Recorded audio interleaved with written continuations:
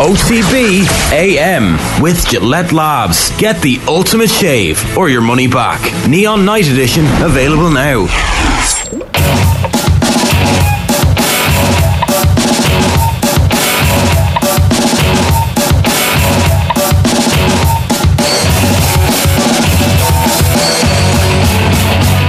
Right, a very good morning to you. Welcome along. It is the 20th of June, and we beat the uh, Gibraltar 3 0 last night. If you are uh, interested, we'd like to hear from you this morning. 087 180 is the WhatsApp number. We've plenty more on the show, including our first depth chart of the Rugby World Cup season and uh, more reaction to the news that the Camogie players and the Gaelic footballers are playing the rest of the season under protest. We'll get to all that a little bit later.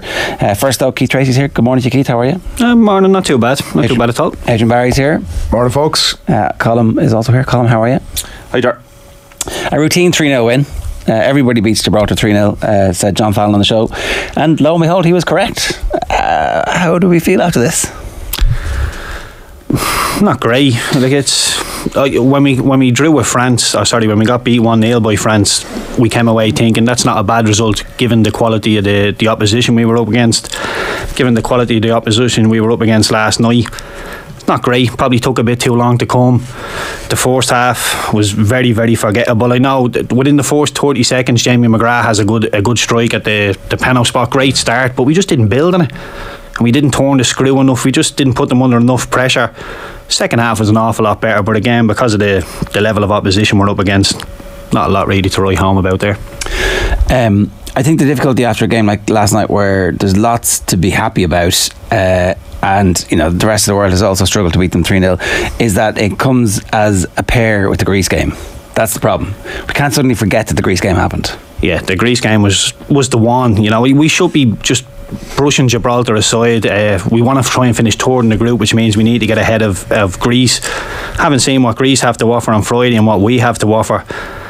I, I don't really fancy our chances. And then, you know, people are down kicking it down the road and saying, well, maybe we could beat Holland. And you're thinking, come on, lads, we can't even play well against Greece. And I know the Dutch side on on the eye, they haven't been great. Watching them, they haven't been great. But when you look at that side on paper, they're very, very good. And to think that we're going to be able to go toe to toe with them, I, I, I really don't see it. So look, last night was was exactly what we needed, exactly what we wanted, but you know it, it still doesn't leave a, a, good taste in the mouth. The, the Friday night, uh, the Friday night is where all of the damage was done. Yeah, and yes, right. Not to sound like a complete moron, the uh, the best performances that we've had under Stephen Kenny have come against the good teams, against Portugal, against France. Like I would expect us to be way more competitive and way sharper in September. Uh, when everybody knows that their job is to defend for 90 minutes against France in Paris and then basically to defend for 87 minutes against the Dutch in Dublin and then for the last five minutes to, you know. Is that the um, uh, Steve Staunton, we don't play well in June. Was what was it? What was it he said that time? We don't. No. We never play well in well, whatever it was. We might play better. In, I think there's. I think there's. We're strong in March. That, yeah, I think, I think there's. We're always strong in March. I do think the point about like if Friday had gone slightly differently for us, if we'd gotten something out of that game at all, that there isn't. The, the you mentioned the three 0 par for the course results that all the other teams so far against Gibraltar have managed the exact same result. All of them, I think, were ahead at halftime, suggesting a little bit more comfort in the performance. Wow. We we we. Yeah. Stat boy over here. What's your amazing stat? Unbelievable. Uh, only once before mm. have Gibraltar held the opposition to a goal straw at half time in a qualifier. Keith, what was the opposition? No very idea. close to home. Ireland 2019. Really? Yeah. So you're looking 51 and a half minutes on the clock. I'd actually put it to both of you at the stadium. Was there murmurs going around? Was there a lot of Jesus, this could actually. Well, there was booze at half time. I was yeah, trying to sort of quantify exactly what it was at that time. They didn't go on particularly long. It felt like a kind of a guttural frustration as much as anything else. I, I you, you, can read an awful lot into like fans booing at a stadium, but it felt like a guttural kind of frustration at the fact that we had had a couple of chances. Like if Jamie McGrath buries that on 30 seconds, as, uh, that sums you know, up the Stephen Kenny Reign for me. It's like he puts that in Less it's a different game. Gone, we could less beat than a minute gone, and six you're like, well, it's a procession, Yeah. and that sounds easy. Okay, if you if you put the chances in, obviously, but like to create that chance it was good play. Like Jason Knight speeding down the right, beautiful pullback, and a good connection with the shot either side of the goalkeeper. It's a goal, and then suddenly you're like, this could be any score, just exactly what they need. That's that's Kenny's side, like in a nutshell. Yeah, but the, you need to be more ruthless. When when the keeper saves that and we don't score, we need to get straight back on and keep them under the pressure, keep the turn, keep the screw turning, keep like we know historically their defence is not great. They can see three goals on average most games, so just keep putting the ball in the box. Eventually, we'll get a chance off them. These aren't world class defenders, so you don't have to complicate the game. They were in the middle of the pitch, it was really, really compact, not an awful lot of space. Obafemi couldn't do an awful lot because there wasn't room in behind. Him and Ferguson were coming to feet, and it was just all getting a little bit muddled down in the middle of the pitch. So, mm. if they're going to give you the wide areas, take them and just keep putting put decent quality into the box. And eventually their coach will say lads we're going to have to stop these balls coming into the box. They'll get a little bit tighter to you and that's when you can start doing little one twos but I thought the Mikey Johnston coming on was really really needed because we were playing around Gibraltar. We weren't playing through them. It was all pass pass pass. You needed somebody just to go and have a dribble at somebody and commit somebody. And as soon as you commit somebody then you've broke their lines and there's a bit of chaos in their in their formation now. So I thought Mikey Johnston was a really I give Kenny a bit of credit for that because it's hard to see that from pitch level. I was sitting up in the gods and it was fairly obvious that we didn't need the third centre half. So I give Stephen Kenny big uh, big credit for bringing on Mikey Johnston and it did it changed the game even though the first goal was a little bit fortuitous. I had that free kick not have landed at Mikey Johnston's feet. Would Yeah, we have broken yeah, yeah. there? Would that have came? Everyone seems to be in agreement that Mikey Johnston should have started the game. Is the only is the reason he didn't because Kenny has no intention of starting him against the likes of France and the Netherlands. Yeah, but I, I probably, but I don't accept that. You know, every every game is different. There's no point not. I'm not starting Mikey Johnston today against Gibraltar because we're playing Holland in a month's time. What's the point in that? It's it's every game is different. You take every game on its merits to give a, a John Giles quote. But you, you do. We should be beating these teams. We should be able to go to a 4-3-3 against these and just beat them, just push them away. Now, look, when the Dutch come here, we can go back to a five. We can make it horrible. And like you said, yeah, notoriously when the bigger teams come here, we do okay. And I think that's because we're going out with the mindset, with the mentality that we're going to suffer our possession here. We're going to we're going to have to do an awful lot of running. But within the 90 minutes, we'll get Evan Ferguson a chance. Before he became the Ireland manager, Kenny was more a 4 3 3. Like, I remember before we went to three at the back, talking with the, the League of Ireland fans, uh, particularly Johnny Ward, he's like, there's no way Stephen Kenny's playing three at the back. There's absolutely no, He's never going to. And then I think because we had uh, loads of good centre backs, not many midfielders, and not many attacking players at the time, it was like, this is a fairly obvious thing to do. And probably Anthony Barry was involved in, like, oh, look at look at where we are here, look at the situation. And we played really well. Um, was that was the f- was that the first game? Was the Portugal game? Was it when we went to three at the back? Anyway, early doors, um, and I wonder if he might be considering going back now and saying, right, like it's it's do or die time for him and his reign, and actually going back to a four because we were really open at the very start when we, we had the four and the midfield wasn't strong enough to be able to protect them. Is there a possibility we actually abandon the three at the back now in the next window, which let's face it is one of the most difficult windows that you can possibly have? Yeah, look, it's I, I personally I would prefer to see us playing a four at the back, but then I'm starting to think if I'm an opposition analyst, I'm thinking how can you get our Ireland if they're playing four at the back? I don't think we have any any wing backs, any left back, any right back who's a decent one v one defender. When you look at O'Dowd on Friday night, he was absolutely shocking. You look at Doherty on the right. Very good player, but one v one situations you don't really trust him. So, all I think is we need to be able to defend better in one v one situations. Will he go back to a four? I'm not too sure. I think he has this blanket approach that I'm going to play three centre halves with two wing backs. Obviously, didn't work for the first half last night, and he changed it. But I, I can't see him. I, I think the five, the three at the back, whatever you want to call it, I think will be his mainstay going forward. But I don't think that I don't generally think that's a, that suits us in an attacking sense. I thought with the Obafemi Ferguson and. Uh, uh, Johnston, when Johnston came on, I thought the three up front actually did suit us a lot better. But against the bigger nations, I just think we're a little bit open with the four three three. If you played 4 3 3, right, just to indulge me for a minute, who would the three in midfield be in that scenario? So, say you do have Obafemi, Johnston, and Ferguson as your three up front.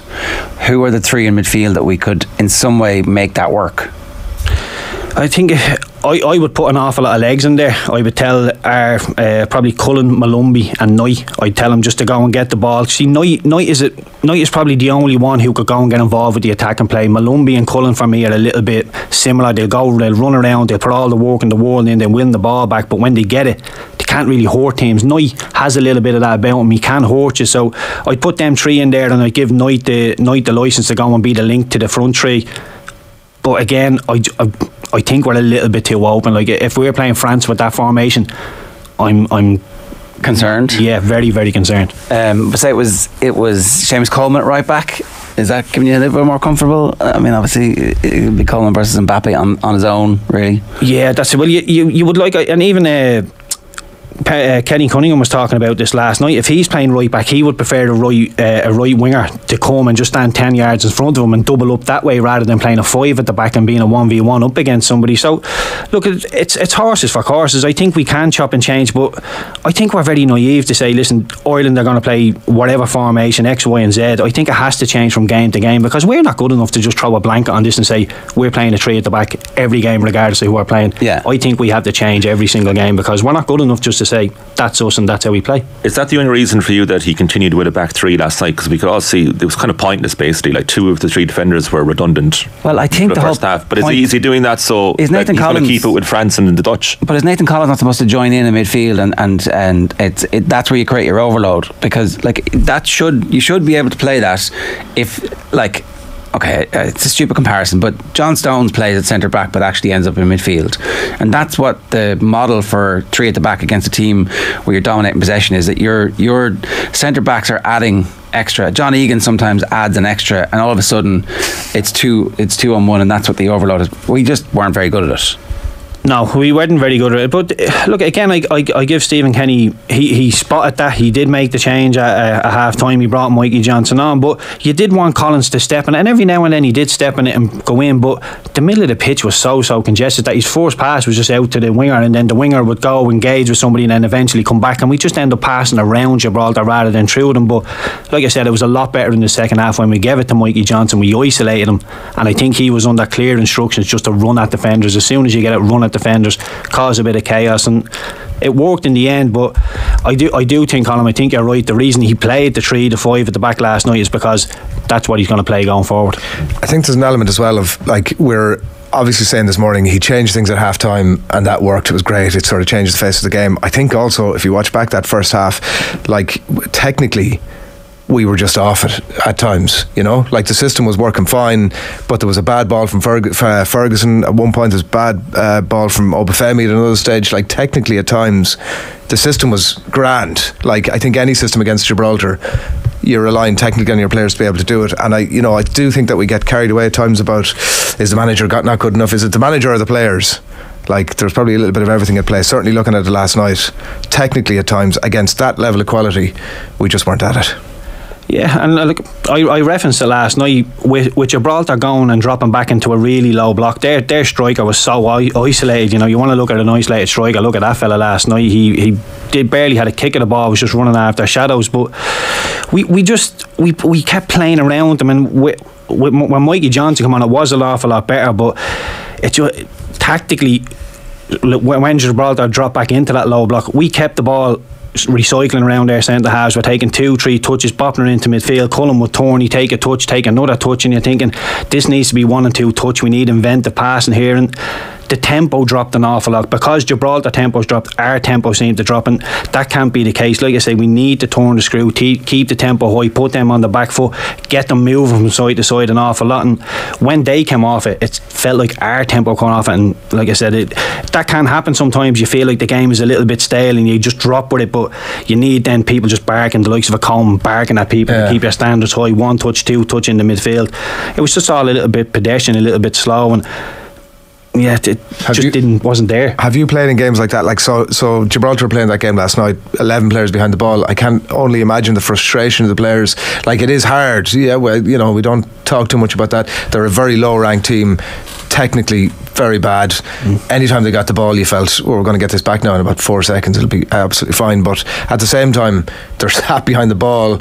You know, the the trying to get the ball wide, trying to get to the, the end line and get it back in was obviously the ambition, but hard against that number of players. Have you been on the pitch before like that, where you're like, Jesus, we're so much better than this crowd, but yeah, look, it, it always is, but you believe in you believe in the process, you believe in what's happening, and we've all been in games where look, it, it only takes a, a one decent ball into the box, a defender to get half ahead, and there's somebody to arrive late, or you know half a deflection. So as long as you put quality into the box, and I, I think it was Sam Allardyce that used to drill this into me. I think it's for every ten quality balls you put into the box, you'll get at least one shot on goal. So he used to always say to me, "I need at least ten decent balls into the box off you a game," and he would demand that from the wingers. So if you send your wingers out there, and notoriously, I think this is what Ireland are good at over the years, getting the ball out wide and putting it into the box and modern day football now is all about don't let them play through us, make them play around us. If teams are going to let us do that, then take advantage of it because we're notoriously good at it. Don't you know? Don't turn down the easy stuff. In the overall scheme of things,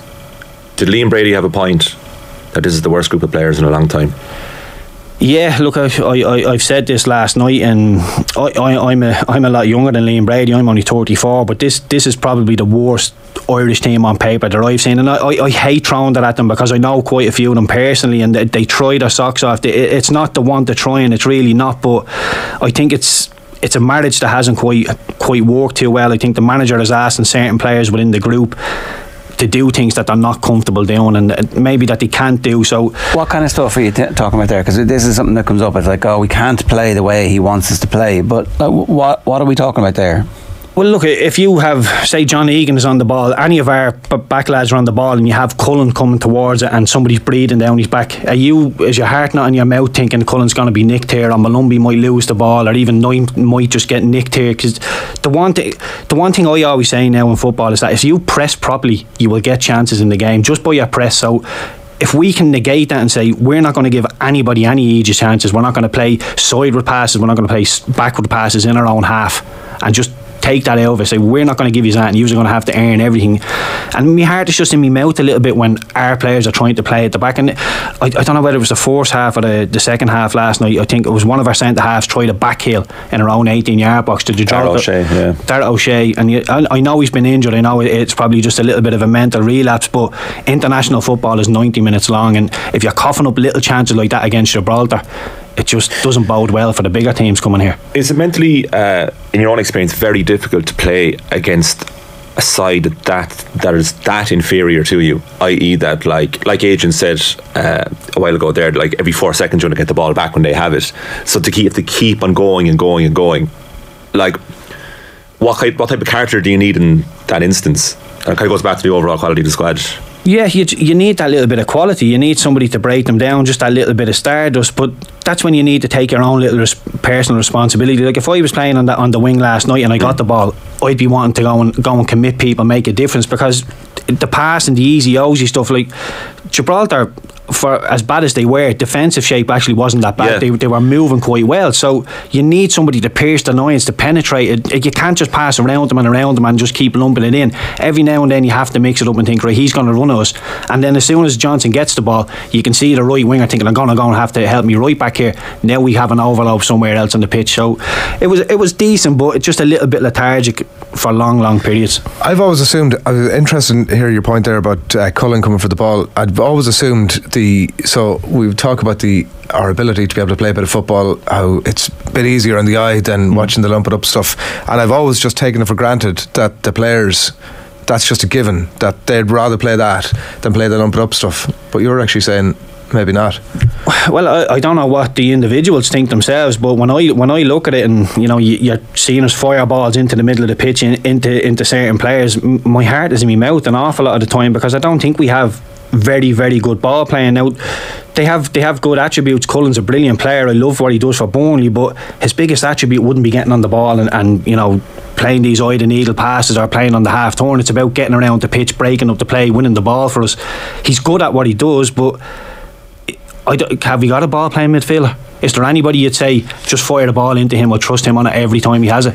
Like a, a Wes, I, I hate throwing older names yeah. in because it gets it happens a lot. But the, the ilk of a Wes Hoolahan, just say give it to him, he won't lose it. Mm, I thought we, we don't have poor that. last night. But yeah. Smallbone against Greece, I thought was absolutely disgraceful. I thought he was really really poor. But I thought that was a very poor decision from Stephen Kenny to put him in. Put him in that, that was his yeah. debut, his competitive debut. Greece away that's that's very very deep water to be throwing somebody in. Gibraltar at home in a, in a qualifier, totally different, totally different thing. But Greece away in the heat, very very difficult. Yeah, like the thing with this Ireland side, I look at it like we're very confident of passing the ball among ourselves at the back. Mm. With no pressure, and then you go up to midfield, it gets a little bit more pressurised, and then it's almost like we're, we're dying to play ball, but as soon as we get into the opposition's final third, all sense of what we were trying to do goes out the window. And I don't know if it goes back to the fact that the majority of our players are not playing top level football mm. or if it is a management issue. So, uh, yeah, to, to crystallise that, basically, if, if you were in charge of this team, we'd be playing the ball back to front and pressing. Yeah, but uh, look, it, it, it, it would be back to front football, but it would be that for you know, I'd be throwing a jab so we can land a punch. I wouldn't just be going out there saying, lads, regardless of what they do, I just want you to pump along. If they stand off us, then yeah, we would play through the towards. We would try and play nice, attractive football. But if a team comes and you go and press me high, I, I, would just clip over that press. Can we just tease this out, right? Because you don't believe that we have the midfielders to do it. I don't think anybody is here going, well, hang on a second, look at them. It's so amazing. They've got hidden skills that we just haven't seen yet. Uh, that transmits to the players, right? And so you've been in the trap uh, that like these are not champions. That's what he would say about you in mm. press conferences uh, to the, to the Italian journalists. We'd be sitting there going. I mean, he sees we're here, right? you know, we've got ears, we can listen to this. But like, what does that do for the team's confidence? And are we then stuck? Because 25,000 would have been at that game last night yeah. if they hadn't bundled the tickets. Uh, but in the previous years, we would have been lucky to get 20,000 and they would have lied to us and said there's 40,000. But there was, it felt like there probably was 35 to 40,000 at the game last night like we don't we're bored watching back to front football. It was shy to watch under Martin O'Neill. Yeah look I get that but I, I remember is there, is there no third way here? Is, of course it's not listen if, if Stephen Kenny's not here then we have to go back to you know Sam Allardyce. It's not a complete 360 here. There is a hybrid way of playing and it's horses for courses. If, if France come to town you can play over it. If Gibraltar come to town we can try and be a little bit more uh, advanced of employing play through the tours but it, it, it to me the only time we look dangerous when you throw you throw you like we can forget about Gibraltar. We should be hammering the likes of Gibraltar. So I'll go back to the Greece game on Friday. The only time we scored, the, the goal we scored was a set piece, a flick on from Evan Ferguson, Nathan Collins in at the back. Nathan Collins' uh, volley was a set piece that comes in and gets headed out and then he volleys it. The only shots we had on target, the only time we looked dangerous was when we put the ball into the box. So all this attractive football people are saying, oh, it has got better, it's more, it's it's moving forward, it's getting better. I would argue, yeah, it, it, probably has been a little bit better on the eye, but had we been a little bit more, little bit more pragmatic, we'd have won a lot more games of football. Is there a case as well, just on that point, that like so he spent the early part of his Ireland career, Stephen Kenny, trying to adapt this new system under a lot of pressure at that time. And the things that he was working with at that point in terms of forward options were Troy Parrott, obviously at some point was like the, the this guy is going to be the one. Uh, Ogbene, maybe in a forward position, Obafemi in a forward position. So they were his tools. Mm. And then more laterally, this genius comes into play who's seven foot eight and um, you know built like a whatever uh, and he's a very different option than what he had when he adapted the style of play. Also, you've had Adam Idah on the sidelines for the last what is it year, year and a half, and suddenly he's back in. Like looking at the, the two of them up close last night, the sheer mm. size of them, very different options, ability to win the ball, a good high ball in. Like it's a very I wonder. I wonder if behind the scenes Stephen Kenny isn't going. I've set up my stall. Yeah. I'm going to play this way. Yes, everything I've had, the front options have changed, and there might be a more obvious back to front ball, but I'm going to live. I'm going to die by the sword here. Like yeah, yeah, that, that he's reluctant to change his system because he set out his stall. Yeah, I, I think that could be a little bit to do with it. Um, but like, it's very very easy. We we talk. The main thing you have to do in football is kick the ball in the net. If you do, if you don't do that, all the other stats mean nothing. Mm. They just dwindle away. Our best players, our best player, Evan Ferguson, Obafemi, Ogbene, all our best players are up the top of the park. So don't complicate it. Get the ball up to them, play from there. And I look, it's not going to be pretty on the eye, but we will win more games. We will be probably not as entertained, but you'll be leaving Lansdowne Road and you'll be a little bit happier with things. You you'd be throwing punches. We'd we'd be toured in this group. We'd be saying if we can beat the Netherlands, get something against them. My God, we could finish second in this group. But as it is, you know, we're, we're propping it up, we're in fourth, and we're only standing on top of Gibraltar. And has anybody seen any attractive football in the last in the three games in this group? Because I haven't seen any of it. Well, I watched France Greece last night, the highlights of it. And like France were kind of doing what we were doing, just a bit better because they have better technical players. And we're very fortunate to win that game, by the way. There was a high boot to the head, and um, the Greece player got sent off. Mbappe takes the penalty keeper to me looks like he's on the line. He's certainly got one leg at very least on his own goal line. Referee, you know, under the hot Paris night, decides that whatever it is, 100,000 people in the stadium is going to have to result that the penalty gets retaken and they get over the line. And it's a bit of a slice of luck. Um, but it was sort of the same type of system. Um, and I don't know, in terms of the attractiveness, I definitely felt in the stadium last night that people would be. Uh, now in a position where you're more willing to see a bit of a lump ball or like this thing isn't working. Oh, in fairness, we did go back to front a little bit against Greece and stuff came off it. So it's not like there, there's no there's no long balls at all. Can I ask another question? Right, it, would Jeff Hendrick and Robbie Brady have had any impact on the performance against Greece? Possibly. Um, I, I, I think uh, in international football, experience costs for. Uh, accounts for a lot. It really does. I think the more caps you can get on the pitch, the better. Um, obviously, there's there's exceptions to that rule every now and then. The types of an Evan Ferguson comes along and you just throw that out the window. You say you're going in, he's good enough. But in general, especially in the middle of the pitch, I think you need caps, you need experience, you need people in there. Like Jeff wouldn't have been too bothered about Greece because he, he's felt all them feelings before. He would have felt, you know, this is a lower team, but maybe we're getting a little bit dominated in terms of possession he wouldn't have panicked. I think there was a little bit of panic. I think people. I was listening to the Irish media before the game, and for some reason they were saying we're favourites in this, and I, I was looking at the Greece team and thinking this is a very very tight game. I don't think there's any favourites in this, and it, it, played out that way. It was a very very tight game, but yeah, I, I, again, and hindsight's a great thing because Smallbone didn't have a great game. You can look and say maybe Hendrick and there would have done a little bit better, but the one thing for me is he played Smallbone, not a problem, but he, Smallbone has to play in an advanced area. He played in a flat tree, and all he ended up doing was running from to Tsimikas to Baldock to Tsimikas to Baldock. And after half an hour, his legs were shot, and we had to end up making a couple of changes. But in hindsight, yeah, maybe uh, maybe Jeff or, or, Robbie Brady could have made a bit of a difference in there.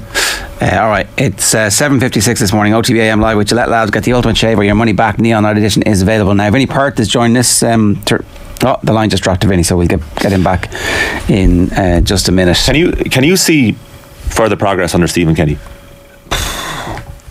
I'm not sure. I'm really, If he if he's going to keep playing this way, I mean, again, I, I keep putting myself into into uh, managers and coaches team, uh, mindset coming in here.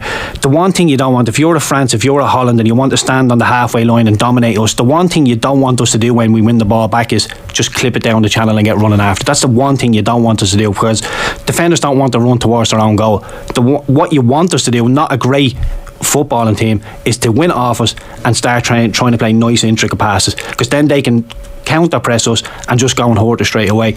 So I think you're taking a big, big weapon away from the, the bigger nations when they want the counter pressure. If you just play it down the channel. Now, it's not just getting it and lumping it down there, it's telling Obafemi, it's telling Ogbene, as soon as we win it, you need to start peeling off into that channel and be gone. And we will have a head start in the race, and then we can play from there, win and throw in, play in the right areas. Just don't play in the wrong areas. So I'm saying lump it up there but then start to play. It's not lump it up there, win a throw in, throw the ball into the box from there.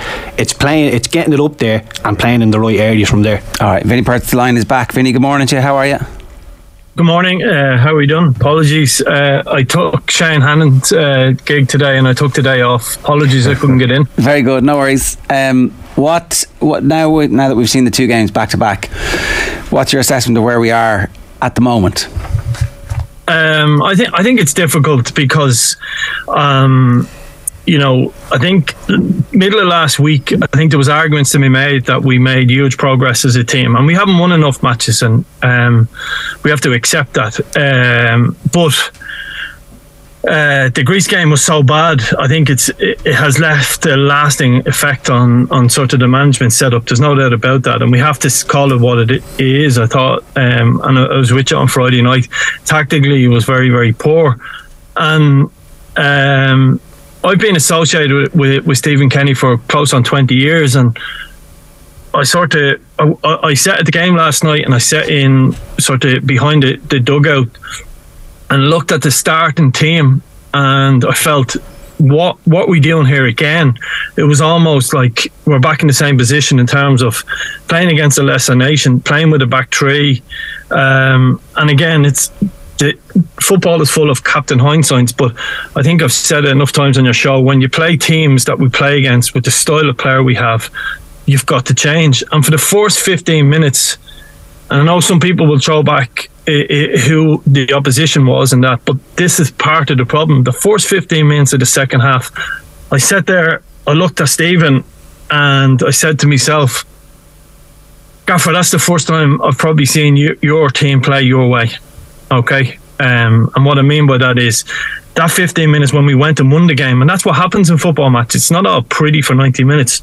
James McLean on overlaps. Jason I there was one stage I think it was on the 60th minute where James McLean crosses the ball as the left back in the flat back four and Jason Knight as the right back almost gets in at the back post.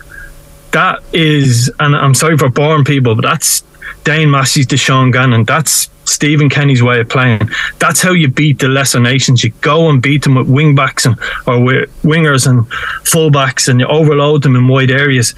And the problem we're going back to, you've asked me about the bigger of the week is we don't we don't have enough credit in the bank as a management setup, or they don't, because they didn't beat the lesser nations.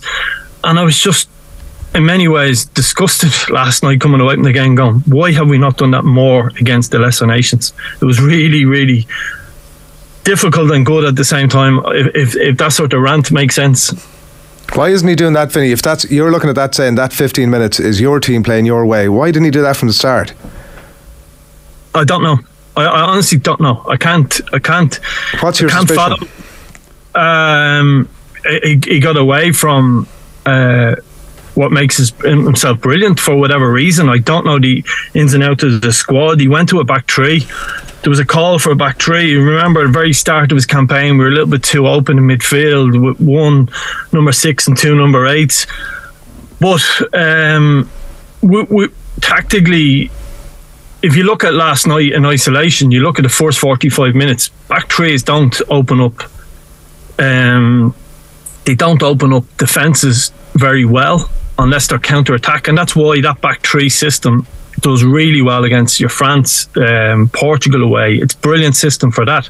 But when you have to break down a team, and Gibraltar basically played 4 5 1 and had different variants of that at different stages, back threes don't do that because James McLean is one on one with their fullback. He's got to show a little bit of magic, get do something.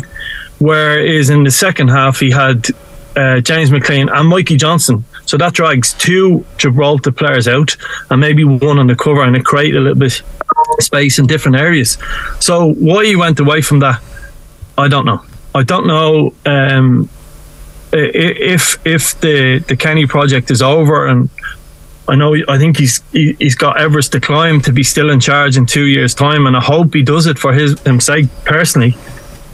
I'm not sure he's failed his way. I think people could get an insight into Stephen Kenny in that first 15 minutes of the second half last night. That was his style, and that that for me is um, difficult. That, that's a difficult thing to take that he hasn't done that more.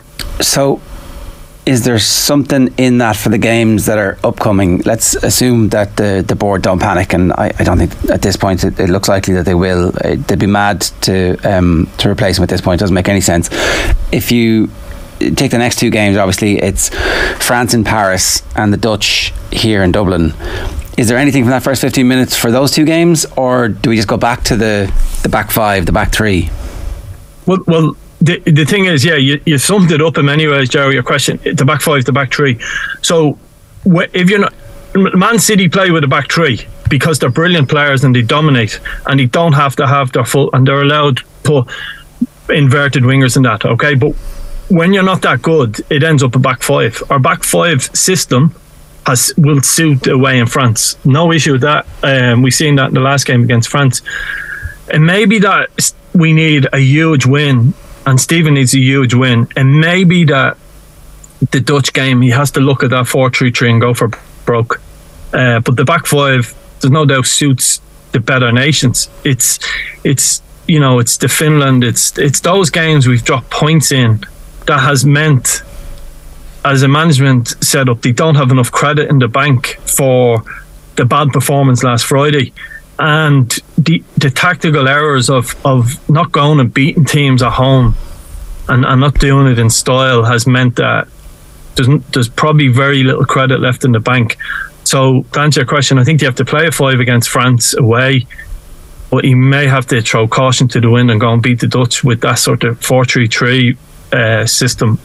Um, listen, it's easy from the cheap seats, but tactically.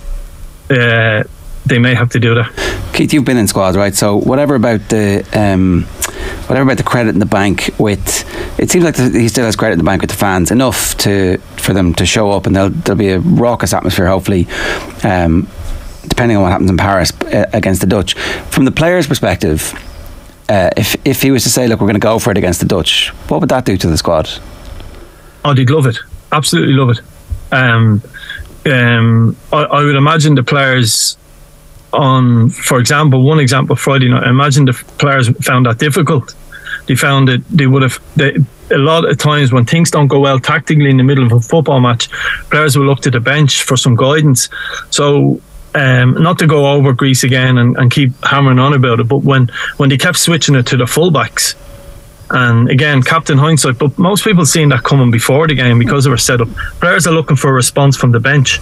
I think the players would would have enjoyed that second half performance. Oh, I know it's only against Gibraltar, but they would have enjoyed that. Like, um, Mikey Johnston, um, Evan Ferguson would enjoy what he has around him. And Mikey Johnston on one wing, um, whether it's Obafemi or Parrott on the other wing, with Knight getting to the end line, with with Seamus Coleman doubling, or um, uh, sorry, uh, James McLean doubling up on the other side, whipping in crosses. That's what they want. Get people getting to the end line. So I think the players would love it. It'd be like shackles off. Go back to Ireland against France under trap. You remember we took the shackles off over there? Players will love that if we go and do that against the Dutch. Can't do that against the French or we get turned over. But at home against the Dutch, I'd say the squad would really welcome if the manager threw that at them. Yeah, I, I, think I think Vinny Spawn. I think the lads would absolutely love it. But just to pick up on, on something Vinny said there about lads looking at the bench, you know, these are professional players. You know, they play football every single day. We a problem solver is what you need on the pitch. You need somebody who can see something, can feel something, think this isn't right. Whatever the manager has said uh, uh, before the game at half time, it's not working now. So we need to do it this way. And when I played for Ireland, I very rarely played for Ireland, but when I did play for Ireland, the likes of John O'Shea, Richard Dunne, they didn't look to Trapattoni for advice. Robbie Keane, they they solved problems on the pitch. We done it all ourselves, and you know, you need problem solvers, and that's probably another thing. And I referenced that without Seamus Coleman this week that we don't have a leader. We don't have somebody who can solve problems. Somebody will say, "I need you here, lads. This need need ticky tacky stuff is not working. Let's play in around the back." So the only talking I could see on Friday night was lads screaming at each other and giving out to each other. Which is never, never. Yeah, and I, I, could see Cullen doing that. You know, lads, come up with me, do this, like little things within the game, how to press. But in terms of the overall bigger picture of the game, it was all like like Vinny says, looking at the bench. What do I do now? Where do you want me now, Gaffer? We need problem solvers because you can't have Stephen Kenny trying to scream to the far side of the pitch when there's fifty five thousand people in the Aviva. You need you need problem solvers, but then it goes back to trust. Then it goes back to experience. How many caps have they have? Did they know? Have they been in deep water before? So it's all swings and roundabouts, but. That, I think that's very telling when you see players looking at the bench for guidance rather than knowing what's wrong themselves there was a lot of yeah, and just to balance out, sorry, just to balance out Keith's point is that, in fairness though, Keith, in both games, the tactical switches at half time made us better. So, um, the sense is, could we have done them earlier, or could we have started the game with those tactical switches? So the Mikey Johnston or the two number tens, not to lose people. We started in the second half of Greece. We were a better team for that. We should have started that way, and we should have started the other night with a with a flat back four. We shouldn't have played with three centre halves. So there, therefore, you've got to give players a little bit of leeway as well to say set them up correctly first and, and I know some games go against you. And I've been a manager who's who struggled in that. As I said, I sit in the seat, cheap seats. Well, they're not that cheap in the Aviva anymore, but I was sitting in the cheap seat last night. But absolutely easy to throw stones. But we shouldn't have started with a back three last night. We just shouldn't. It's no. just it's non-negotiable for me personally. But I'm not the international manager. None of the none of this is lost on the players, right? They're all, I'm sure, having the same conversations that we're having. There was a lot made during the week in the press conference about the belief. Stephen Kenny, do you still believe in the players? This was the big thing. You mentioned earlier on that you would know some of the players personally. Do you think the players still believe in Stephen Kenny? Um, and, and, genuinely haven't, uh, and I wouldn't discuss it w- with the ones I know or anything like that. Um, I think, I think by and large, players you get like, especially in international setups or any t- anytime you travel, there will be a bond with the staff there. Um, if if this project ends, absolutely certain amount of players in every squad will be disappointed to lose them. Some will be in many ways the modern player or the modern or any person won't be too bothered, and some be glad because it might mean they get a chance. That's just the nature of it. I, I, I don't think I don't I think the setup and the way things have been run it seems to be extremely professional, really modern day uh, staff in there. Um, in terms of like even the backroom staff, people wouldn't know. So people like Danny Miller or um, the, the Southampton physio in. I think the players get such high level treatment at the club now that it wasn't always the case they got that at Ireland. I think that's one thing that Stephen has changed, and the players like the environment of it. It's high level professionalism. Um, so I think they'll want this. My sense is they want this project to work out. But players are players, and ultimately they want to win matches as well. Yeah, I, I think there'll, there'll be a bit of both. There'll be some players that'll be that'll want Stephen Kenny in. I, I spoke to, well, I didn't speak to uh, Doherty. I listened to his interview after the game when he got sent off against Greece, and he said definitely Stephen Kenny is the man to bring us forward. So is Keith Andrews, so is John O'Shea, and I know Keith Andrews, I know John O'Shea personally, and they're infectious. Their love for football is very, very infectious. I'm sure the lads are very, very close to them, but there'll be lads on the periphery who'll be thinking, maybe if Stephen Kenny goes, I could be in here. And there'll be people that fancy you, there'll be people that don't fancy you. So, look, it's it's one of those things. You just need to be professional and get on with it. But we, the big thing is we need problem solvers. You can't have people looking at the bench when there's problems on the pitch. You need to go and solve it yourself. And like you said, uh, uh, we needed tactical changes, but I'd still love a Cullen. I'd still love you know somebody of a, an older head there to be able to say, lads, this isn't working. Just get together for five minutes.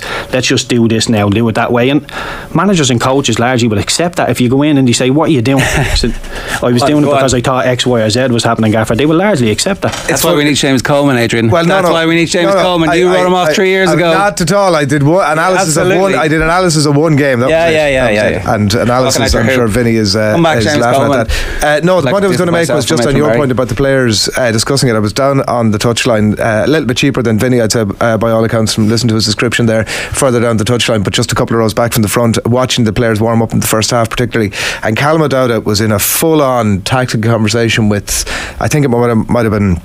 Mikey Johnston, there was a lot of gesticulating about, you know, uh, two or one, or there was a lot of that tactical conversation going on where it was very clearly him saying, what we did at half time he was preempting that, going, "Why aren't we doing?" Like they were clearly knee deep in a conversation, like in full view of everybody about how this is going on. And I suppose he's probably one of those players that you talk about there in terms of being on the periphery and yeah. feeling as if he should be in the in the first eleven. It's clear that we have you been in dressing rooms, uh, Keith, like that before, where players are saying, "Listen, how are we not doing this thing?" I mean, I guess at some point you need Callum O'Dowda to go up to the manager. I mean, not in the middle of the game, but at some point afterwards and say, you know, uh, you know, to have that conversation with him as opposed to just um, having it amongst themselves, I suppose. Yeah, well, I, I had it with uh, with Eddie Howe at Burnley when Eddie Howe first came to Burnley. He fairly similar to what Stephen uh, Stephen Kenny is trying to do now. He was trying to get us playing football. The crowd at, at Burnley at Turf Moor weren't on board. They didn't want us to play football.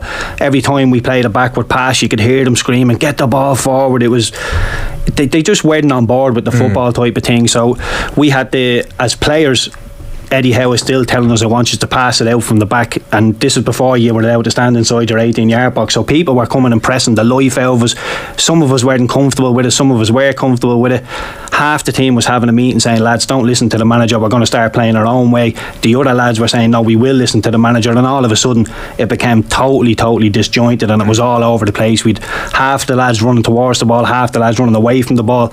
And it became very, very disjointed. But yes, sometimes tactically, you, you might not you might not want to do what the manager's telling you to do. You might think it's naive. You might want to go down a different way. But at the end of the day, the manager calls the shots, and if he tells you to do something, you have to do it. But as a player, I've been in a situation where I feel these things aren't working, and you have to go and try and problem solve it yourself. And like I said, managers, if you can go to a manager and say, Gaffer, I did this because of that, I wasn't trying to undermine your tactics, I just thought X, Y, or Z was happening, so I played this way, managers will largely accept that because you're trying to solve a problem and just, you know, stop things from happening.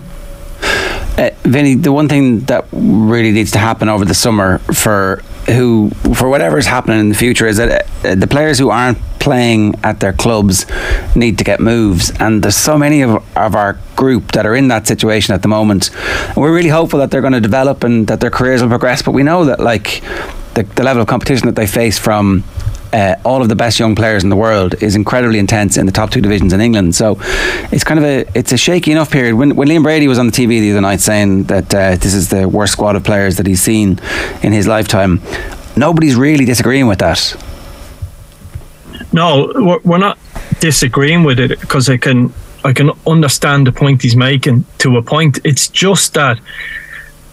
I, I, I, again, I, I, I like I'm great. I repeat myself, but looking through Irish football through the prism of English football is what's it's what's holding us back as a nation because the amount of players playing in the Premiership it's it's almost fair to you've, you've got to be world class um, world class maybe a, a, a bit use I've heard you debate world class before what's the word I'm looking for you've got to be exceptional now to be a Premiership footballer but but the problem with, with Liam's comments, and I agree with like, Liam is a legend. I agree with vast majority of that point. The problem is 10, 15 years ago, you didn't need to be exceptional to be part of a Premiership squad. So world football has changed. England is where it happens the Premiership. The the challenge, the bigger challenge for me is you go back to the, some of the players that play for Greece. I made this point on Friday night. You've got players playing with PAOK You've got players playing with Tra- the ones that have left Greece are playing with Strasbourg. They're playing with um, AZ Alkmaar. They're playing regular European football and group stage football. Okay, and Keith will know this better than me. Championship football doesn't really equate to international football. They're they're not chalk and cheese, but playing a game every three days, real high intensity, is completely different than international football. And the advantage players like playing for AZ Alkmaar is, as I said, getting to a quarterfinals. I think it was of a, a Europa League is is experience at international type football, and our players and us as a nation have to get away from that fixation. And it's starting to happen slowly.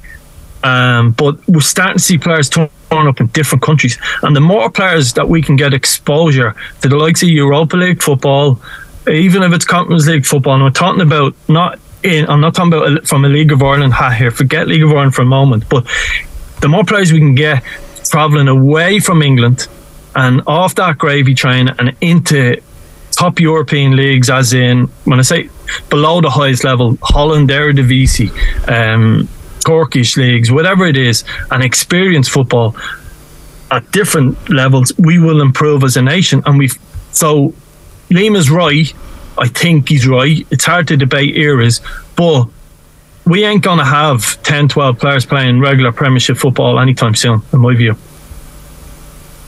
Yeah, I, I do think we will struggle. Some of the like the, uh, the championship and, and the, the international scene, it is very very different. I played the the vast majority of me me career in the championship, and the, the championship is blood, sweat, thunder, tears. It's everything, but in terms of a tactical battle, you probably get that when you come up against you know the top three or four in the league. You might get a decent tactical battle the vast majority of it, like I said, there's no respect. It's 100% milling into each other, it's just relentless that championship. So in terms of going to a championship team and then coming into our international setup and then being told to play, play, play, and uh, you know being overloaded with tactic stuff, it can be quite difficult. But like uh, like Vinny saying, if we can spread our wings a bit, get lads all over the continent, then I do think it, it will help us, especially how we want to play. But at the minute. I think uh, I think that that's that's somewhere down the road. I think we need to fill holes for for the, for the minute and just try and win games. And the way for this Irish team to win games is get the ball out wide and put it in the box. And like I say, it might not be pretty. And might people might say Mick McCarthy, all this sort of stuff. But I'd rather walk home from the Aviva having beat Greece or away from uh, Athens last week having beat Greece rather than being uh, being beaten one 0 Yeah, I think I mean it's uh, uh, the that's a binary um, comparison. But like in your imaginary world, we win those games. But in in the our experience under Trap and Martin O'Neill was that there was occasional bits where we would flare up and we'd have some wins, but there was uh, a lot I, of. I take that point, but there's it's not. It's not just the anybody. We can lose to Greece, right? We can we can lose to Greece. That's not a problem. Greece are a decent team, but you can't go and lose to Greece with that performance. That's you, you can't have a ten day training camp in Turkey and in fifteen minutes concede ten corners and a penalty. And and look, I I, I mean, we were me and Vinny did the game in studio here, and we were making the same point. Like I, I don't think anybody has been as vociferous in their support of Stephen Kenny and what he's trying to do as as uh, we have been on this show, but it's very difficult to come out after that game and go, no, it's okay, we're going the right direction. Well, it, only, it feels like the only route back from here and uh, I appreciate the ludicrousness of it, but the only route back from here is four points in the next window. Finish shaking your head there. No, I, I, I thought Adrian was going to mention something like Sam Allardyce. I throw myself I'm off. Not, Vinny, we're not there yet. I shouldn't make that. I shouldn't make a joke about throwing myself off anything. Sorry. Um, yeah, just listen. It, there's a hybrid. There's a hybrid of what we're looking for. Um, you know, it, it's it. You can't be. You, you can't be Xavi and Iniesta unless you're Xavi and Iniesta, okay? But you, you we probably can't continue to be that team.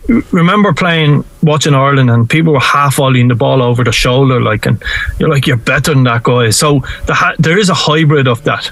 And I think I think if we're set up tactically correct, and we haven't been properly in the last two games, the evidence is there. Like it's not, as I said, it's not Captain hindsight. It's the evidence is there. I think if we're set up correctly, we can have a good combination of balls down the side, as Keith said. But also, there's a time now. European football uh, international football, you've got to keep it as well. You've got to keep it as well. So you can have that hybrid.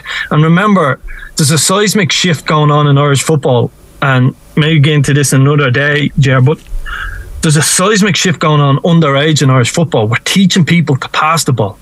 And you can't just then throw that out and go back to a Sam or a what whatever. And we have to have that hybrid and get results at the same time, which I know is going to be difficult. We've got to come up with two. Uh, some balance between that where we're teaching kids to pass the ball, pass the ball, play a beautiful way. You go to underage football in this country, watch our, our international 15, 16, 17, 18s, they're all playing out from the back. But they're getting results as well. We need this international team to get results and be a bit more pragmatic and, and get things right on the way of doing it. And I think what's going on, uh, honestly, it's it's huge shift in Irish football underneath. A lot of big good things happening. That's why I really need this. Inter- we need this international team to work out for us. Yeah, Vinny, good stuff. Thanks a million for joining us. That's uh, Vinny Perth on the line, and Keith, thanks a million for joining us in the studio as well this morning. Don't miss all the action Rugby Daily today in your OTB podcast network, bringing you everything that you need to know about rugby. Get your favourite local restaurants delivered to your door with Deliveroo. Just open the app, browse some great offers, take your pick, and they'll take care of the rest. Deliveroo, food, we get it. Up next, Andy Dunne's depth chart. First, Don Deacy with Aisling O'Reilly. Do you think Stephen Kenny should stay on? 500%. A great manager and a great man. He hasn't got the players, but he's a brilliant, brilliant manager. What do you like about him? Everything everything. There's nothing bad about him. He's a very honest and good man. There's a friend of mine there, Jonathan Corbett, chairman of Galway United, and he thinks he's useless. He's not useless. He hasn't got the players. He's brilliant. So he needs more time, you think? Definitely, without a doubt, and he deserves it. He's an Irishman, and he's looking after an Irish team, and we don't need foreigners to look after an Irish team. Do you have you seen improvements under Stephen Kenny? I definitely. At least they're playing football. You've seen them under Martin O'Neill and Roy Keane. We're just kicking it up there. They're worse than Jack Charlton. Will you stop? Jesus, he's brilliant. they're passing the ball. Yeah, but they're but they're not getting the win. I know they're not. He's very unlucky. No, he's very unlucky. Yeah, he is really. Ah, he deserves another chance. Why wouldn't he? Yeah. He's a decent, honest man He- and a good manager. And he talks. He, the, the way he sees it, he talks, and he, he- you know, there, he's not hiding behind anybody. He's not making excuses like some of the bollockses. You know, So when you heard some people this week, maybe the Irish public saying that he needs to go, how did you feel about that? I felt terrible, hurt, really hurt, and broken-hearted. I'd rather have left my wife than see him go. I'm serious. You're hoping she doesn't see this. No, no, I don't mind. She might leave me then, she might be better off. But I'm telling you, yeah, he- my friend, look, he's hiding over there. He should go. He has to. He's hoping to be beaten tonight. I don't care whether they're beaten or not. He's an Irishman. He should be kept on. Yeah. And don't let him go. Will they win tonight? Definitely, without a doubt.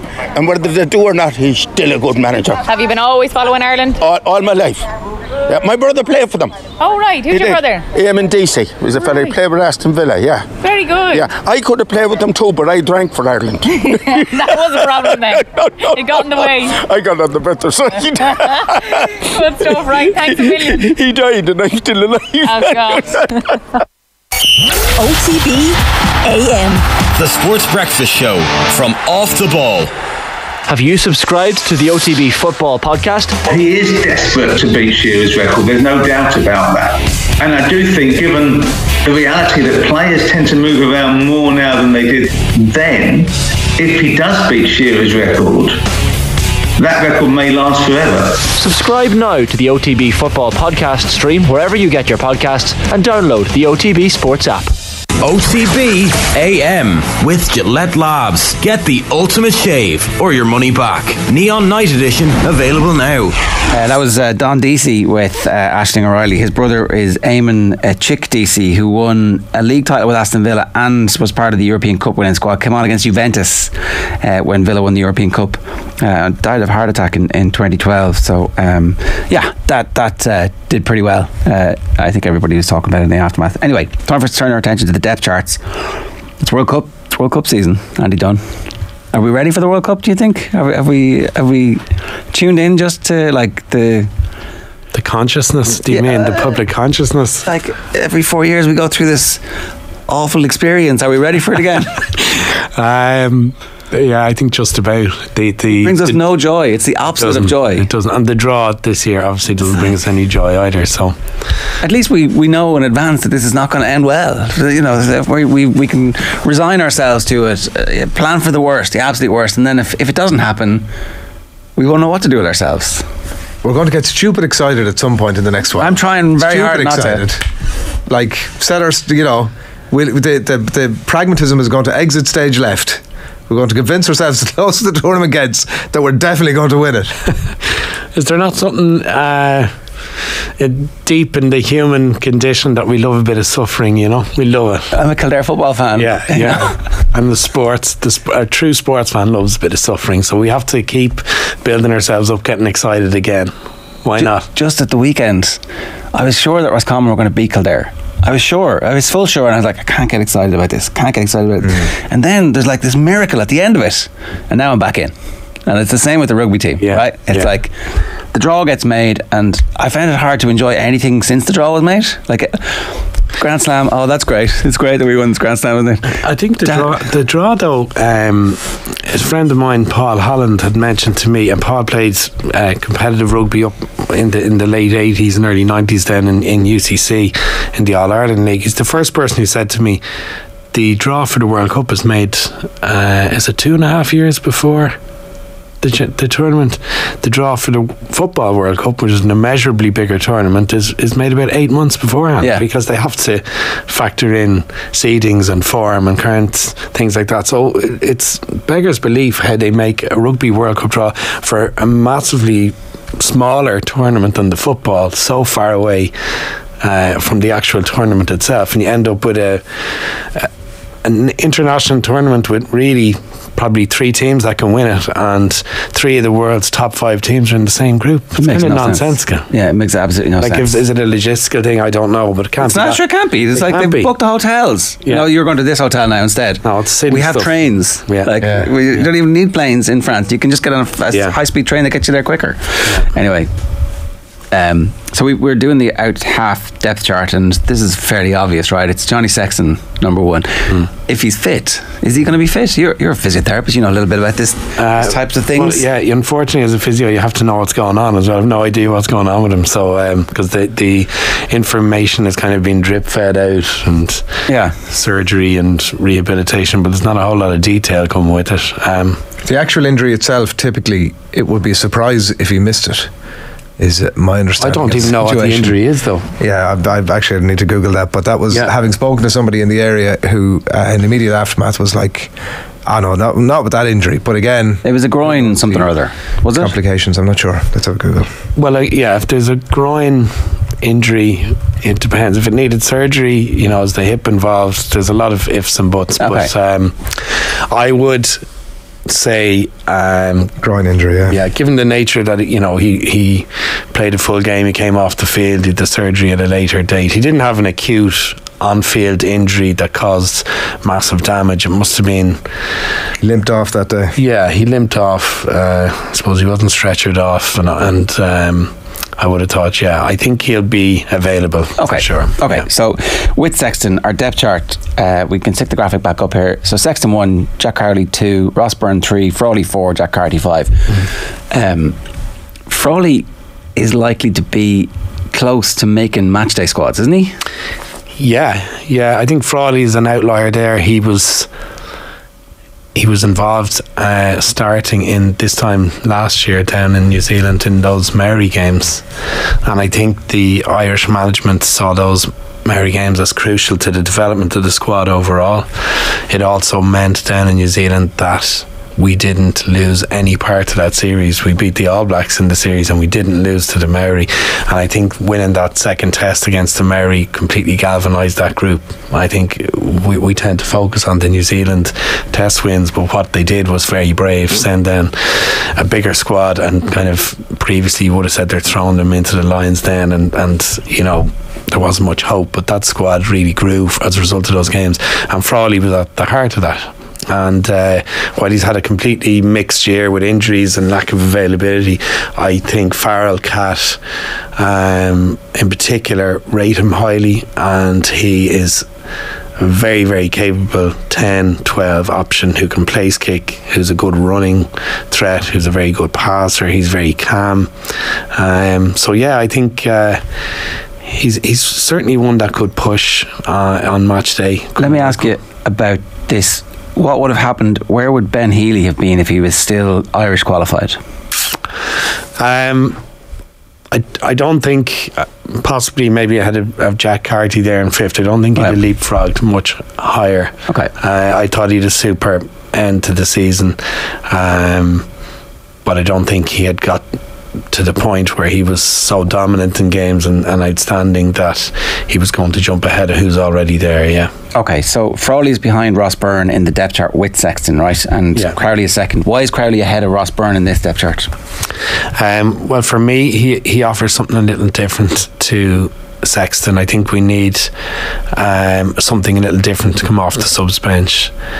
Um, I think he's got big match temperament, which he's shown certainly in the last two to three months. Um, his first touch in an Irish jersey, I was commentating for for uh, off the ball live at the game, and was a penalty to touch that he extracted every last inch out of, which many young fellas coming onto the field would have said, "Well, I'm going to make sure I get touch, Yeah. and I'm going to make make sure everything." You know, keeps on track, and we win our line out, and so on and so forth. He gambled on his very first touch in international rugby, and I immediately took a step back and thought, hmm, that's now there's somebody who's got a fair bit of confidence, and I think he's carried that through in his um, his general play. I, I, I don't think he's set the world on fire. I don't think, but he hasn't done a whole lot wrong either. And if you're young coming into uh, an environment like Munster or international rugby, not doing a whole lot wrong is a pretty good start. And um, I think he's got potential to, to really grow and I think his his cycle will probably be really kicking off at the next World Cup. Um, for now, I think the fact that he's just offering that little bit different to Ross Byrne, Johnny at number one, Ross coming in as his understudy is a very similar style player and a very similar approach where Jack has a little bit of difference. And so if you're the head coach, do you not want the same thing coming off the bench in a way? It's like we've got so let's assume the game plan is working and we're a few points up with 10 minutes left to go. Do you not want the same thing coming on or do you want somebody to actually well, I think where you've got uh, potential with, with Crowley to offer something different is, uh, I think he's a little possibly a better running threat than, than Byrne. I think, um, certainly my own experience, I think having someone who has the capacity to do something different, he doesn't have to do something different. He can still come on and toe the line and play the the the tactical game they want to play. But if he's got the capacity to do something different in terms of being a running threat, he's obviously a good um, kicking game. He can use variation in his kicking game. He's physically strong. He can play in midfield as, uh, as in one out at twelve as well, where you wouldn't probably put Ross there either. Yeah. But I think um, I think that's where they're looking at is his versatility probably more than Ross um, as a backup to Johnny. Okay, and I suppose the other thing then, if it is something slightly different, it makes the opposition second guess themselves for those final 10, 12 minutes, whenever he might be yeah. coming on. It's like, actually, you know what, we need to, there's a different defensive setup we might need. But I also think there's the factor that Ireland and Munster haven't seen what Crowley can really do, or Crowley, sorry, I always pronounce it wrong, but Crowley. Um, I don't think Ireland and Munster have seen the best of him yet. He's very young and he's relatively uh, underexposed to the spotlight. So um, yeah, I think that's an advantage too.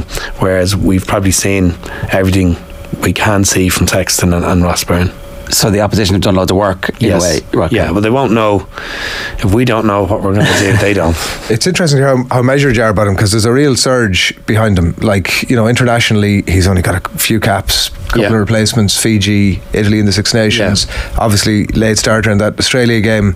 But like the surge, because we sort of decided after the Six Nations.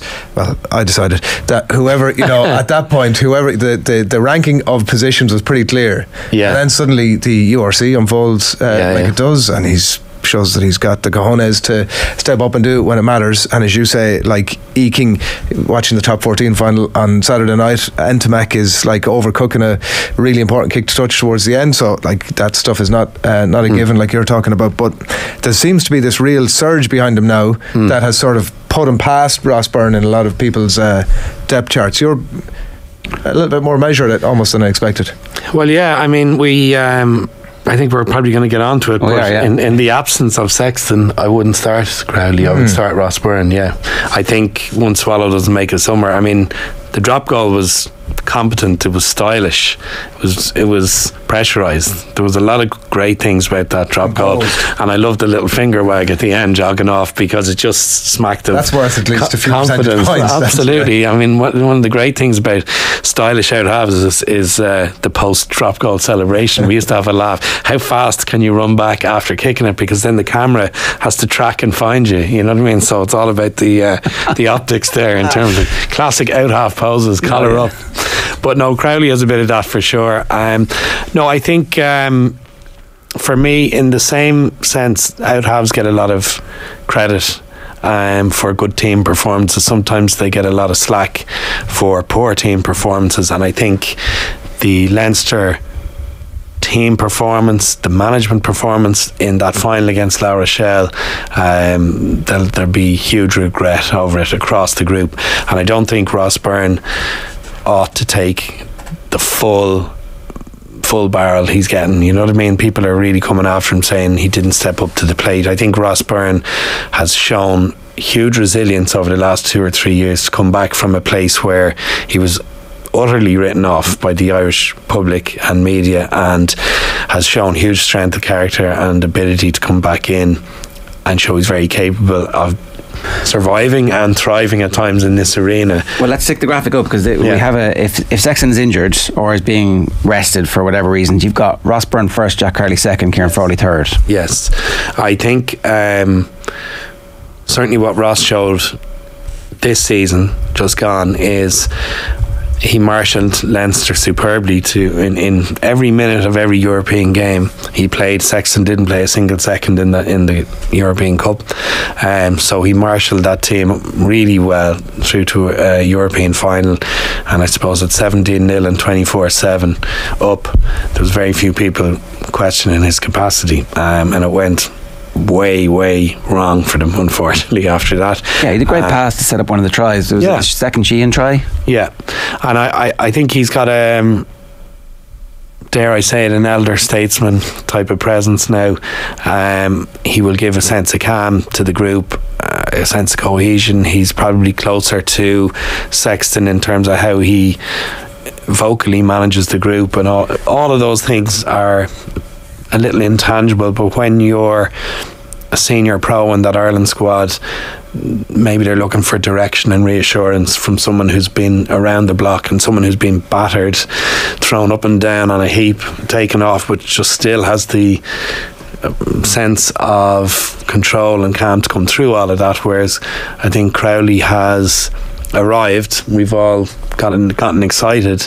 I don't know has he been dragged through the mill as much as Ross yet, and uh, as such, I think in the absence of Sexton or Sexton injury, I think Ross's experience for me would edge him uh, still to start with Crowley as a, as a very capable backup. So Crowley's the, the designated backup no matter who's starting. Yes. But in the absence of Sexton, you're starting Ross Byrne. And I, I, I can see the the point that you're making is that um, you're plugging like for like in there, Yeah. but you're giving yourself the opportunity for a wild card if you need it. Yeah, yeah. I think I'm. I'm certainly not. Uh, I'm not in doubt about Crowley's talent. Well, if you're He's saying a- I think a experience is real the thing talent. going against him, then what you're saying is actually in the long term, the 10 shirt is Crowley's. Yeah, I am. I mean, the next cycle, I, I said it a couple of minutes back. I think the ne- post World Cup. I think he's a he's a massive opportunity. Obviously, John, obviously, Johnny's going to retire. Ross is going to be probably I don't know what age Ross is now. Twenty nine, is he? Um, Only 27, but okay, yeah. Tell you But, exactly now. but even still, you've, you'll have a fella like Crowley who'll really push. I think into that next World Cup. cycle. 28 and he'll be Yeah. 29 next April. So Yeah, and so by 32, hopefully he's he's very low mileage in terms of injuries, Ross, and he plays a, a game that's quite economic. So Yeah. he doesn't smash himself up physically, but he's certainly been battered in terms of uh, criticism and uh, selection and loss of form over the years. So I think he's come through all that, and that experience serves him well. But uh, yeah, I think Crowley's got great talent. Uh, what are the learning opportunities for Ross Byrne from the European Cup final? um, how to operate better under intense pressure. I think he'll come away massively hurt, uh, like the rest of that Leinster team. Um, I, I thought something I thought Ross had brought into his game really well in, in the last season was his ability to attack, attack the line, um, to to release the ball as late as possible to drag on opposition defenders to get smashed up a bit as a result and then get back up off the deck and go and do it again it's something Sexton's done brilliantly for years I actually think Ross went retreated a little bit back into the pocket that is understandable when you're under intense pressure And when you've got a big lead, that's uh, like, um, so I think he'll probably look at that. Uh, I think maybe as one of the key areas he'll learn from. I mean, you learn from the utter pain and dejection of that uh, that loss. They will learn from it. They've no other choice. a month on now, I think it is from the final. Um, what's your assessment of the drop goal, the absence of a drop goal, a signal, uh, a joint communication, a Yeah. team effort? Yeah. because they do drift that direction at one point, and Yeah. then like it's all it's all a bit chaotic. Uh, the Squidge rugby analysis, um, you can see that he's kind of move motioning that direction, but not dominating to the point where he's ordering Yeah. the, the thing, and Gibson Park is doing what they always do, and so it's obviously a joint collective team decision not to do this or failure not to do this. So Yeah. it's not on any individual. But what's now a month on? What what do you make of all that? Yeah, I thought. Um, I think Ross has to take some significant part to blame in that as a 10 that he wasn't able to get that messaging in clearly enough whether he, he was trying I don't know we can only speculate I think it's just also though there's there's um there's been a, a departure a movement away from taking drop goals that I can't fathom in big tournament games that's gone on for about five, six years. I mean, 10, 15 years ago, that's all everybody was thinking. Uh, yeah. Only we're only thinking yeah. get in the pocket, knock over drop goal because it makes perfect sense. If you're losing in a cup final and you've a drop goal opportunity, you should probably go for it. Yeah, it's really an, a real energizer as well. Like yeah, more so than a penalty that you sort of from a kickable distance, it's sort of a given. Whereas a drop goal is sort of halfway between there and a try in terms of the energy it gives a team oh, or a crowd. Well, absolutely, and I, I think at times there are you know there are trends and developments in the game that that get a little become a little nonsensical. You know. Um, overuse of the box kick to exit our own territory has been going on for about three, four years, five years, maybe longer. You know, when you when you break that down, what why surrender possession or at a 50-50 at best deep in your own territory as opposed to kicking it 60 meters? Like if you win it back you're four, you're 5 to 6 meters down the field. And if you don't win it back the opposition of the ball 5 yeah. to 6 meters down the field. That's become to me a nonsensical trend. The next one is the abdication of responsibility to take a drop goal when we think, well, we've, we've trained all week and we've played certain patterns and we're going to hold possession and we're going to score a try. When a well run routine drop goal should be straightforward. Especially when the week before it had happened in, into the same goals yeah. to beat them. Mm. It's like I've just seen this thing. No, yeah, not interested. Don't show me this. But I Don't look at me. I certainly, I mean, to go back to your your question, I think Ross has to take some of the blame, but I think Leo and Stuart have to take plenty of the blame for that one, and so did the rest of the team. Gibson Park, the forward pack. I mean, in a cup final, you'd like to think you know, there's at least 12, 13 people on the field who are thinking we have to take a drop goal to win this match.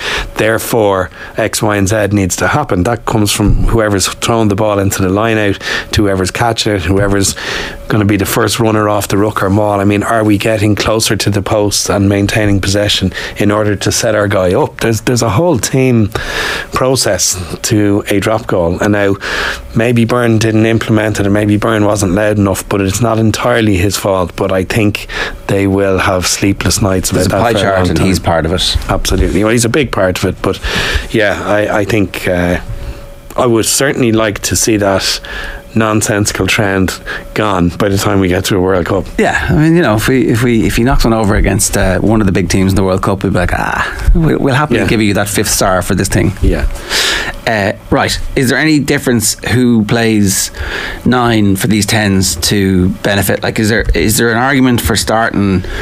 Um, Craig Casey in some games and like using our three scrum halves over the course of the tournament so that we get to the big game and make sure that Gibson Park is available to start. And uh, maybe we're playing South Africa and we want Conor Murray to get in there and mm. soften them up for 20 for an hour. I think I think the, there's certainly an argument for for um, usage of the, the squad at a World Cup because it's it's so condensed. And I think but I would come at it from the angle using the other nines is it's best done to protect Gibson Park because right. he's the clear front runner, and I think the team are a much better side when he's at nine in terms of how the whole attack flows.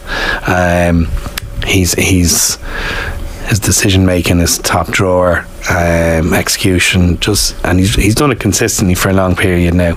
Um, so I, I, think the argument is not so much that um, horses for courses, we're picking a person who'll play better against South Africa or against Scotland. I think it's more we're not exposing Gibson Park to five, six, 80 minute periods in a row. And I think Murray's had a super end to the year. I think Casey, um, Casey, I still have, have I had some question marks, but then in the Six Nations when he came on and managed the end of the French game so well with Byrne, he he um, he went up a few notches in terms of I, I questioned whether he had that calm game management yeah. um, in his in his toolbox and he showed he did. Whereas I thought he was a high tempo player and and well that's excellent and and it's it was at, at times it was kind of opposite to Murray in the Munster jersey.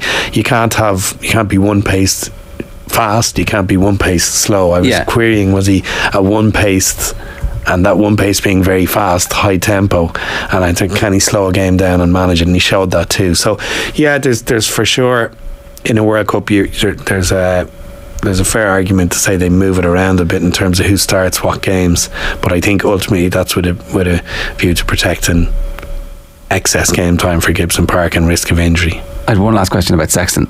Um, at some point, he won't be as good a player as he used to be. We've been saying this now. uh, my, my parents moved house recently, and I found like a, a Irish Times. Um, oh, who's going to replace Johnny Sexton? It was 2011. I'm fairly sure it wasn't 2011. It was like it was a, a good five six years ago. I was like, uh, um, so we've been we've been as uh, exercised about this as we have about the World Cup quarter final berth. Um, how do they make sure that it doesn't happen before the World Cup? Like, how do they know in training? Like, is it? I, I don't think they. I think they can't know in training. I think. Uh, I don't think it's going to happen. I just he's he's mentally too strong. As long as his body can hold up, that he's literally gets on a flight to France and gets a bit of a Paul McGrath contract for the World Cup and maybe under trains. Um, hopefully he's wrapped in a bit of cotton wool and uh, I don't anticipate that lack of game time or exposure over the summer to regular rugby is going to have any impact on him. He's not he's shown too many times that he can hit the ground running. There are certain players who can come back in and hit the ground running at, at the right intensity and tempo and they're few and far between but he's been around the block for since 20 years yeah It's amazing that if we were to have rewound the clock a year and to have had, re-had this conversation about who would have been number two in that power ranking, and his name has not come up. No, Joey Carberry. Yeah, it's. Uh, I feel. I really do feel for Joey, um, but it's it's um, in the absence of any game time. He he's an example of where I said, look, Sexton can, he's earned that right over 20 years. Um, and he's shown, Sexton's shown on many occasions, undercooked, he can come in and perform at a high level. I think Carberry is not like that. I think he's the type of player who needs five, six games in a row on form, playing really well to feature. Now he he got a, an extended run. He had a few injuries, but he was certainly the first choice number one for a long time there with Munster, and. Um, Ironically, I thought when he got into the Irish squad, he had better performances and he, he represented himself very well and he never let us down. But in the absence of him playing regularly for Munster at 10, he's, um, I think he's Im- impacted by that and probably sh- a little shock in terms of confidence. And um, yeah, it's it's a sad and spectacular It's fall from grace. So dramatic. Yeah, yeah. You definitely feel for the guy. I can't imagine what he's going through. I presume Ben Healy's departure opens a chink of light for him, but like he's got to try and get back in the pitch and Yeah, remind yeah. everybody what he can do. Yeah, yeah. I um, I've often said that I, I saw him playing. I think his first start for Leinster as a ten in the Heineken Cup, he beat eleven players in one half, uh, which was an incredible stat. And I was watching it in the RDS, and I really thought this is the next generation. Um, but for a multitude of reasons, I suspect he has he's gone away from that type of game. Um, where he's a, a real threat as a ball carrying ten, uh, as an attacking ten, and he's he's dropped back into the pocket more often. He's gone lateral when he attacks. His his kicking game has been very good, um, but I think his point of difference when he first came in was that ability to be a huge threat as a first a first receiver, and I think that gets beaten out of a lot of Irish tens, uh, including myself, twenty odd years ago, because you're you're perceived to be n- not a game manager, not a good game manager if you are a good threat as a first receiver. Now, there's a I can understand that too, but it doesn't happen in Australia or New Zealand, for example. It gets encouraged. Yes. So Yeah. uh, Keep- you keep doing that, and we'll follow you. Yeah, and I think um, Can he recover? I, I don't know because the Irish mentality to a ten, he's he's feel. I look at Joey and I feel like he's got a little lost and caught between two stools. He's mm. subjected to countless different managers who with very very strong opinions um, over five six years, whether it was with Joe Schmidt in Leinster or Ireland, whether it was with Graham Rowntree now, uh, Mike Prendergast, Stephen Larkham in the middle. There's and Van Graan. There's a lot of people saying different things to him, and then there's everyone saying, "Why can't you be more like Johnny?" And yeah. nobody's ever said, "Why don't you just be yourself?" And we'll we'll adapt to what you do. And I think as a result, he's he's gotten a little lost in it all, and I think it showed in his performances. And eventually, he started to drop out of favour. So it, it is. Um, would you just go to France and have the crack if you were him and be like free from the Irish selection problems and go and enjoy yourself and find a rugby culture that appreciates you? Uh, yeah, I would.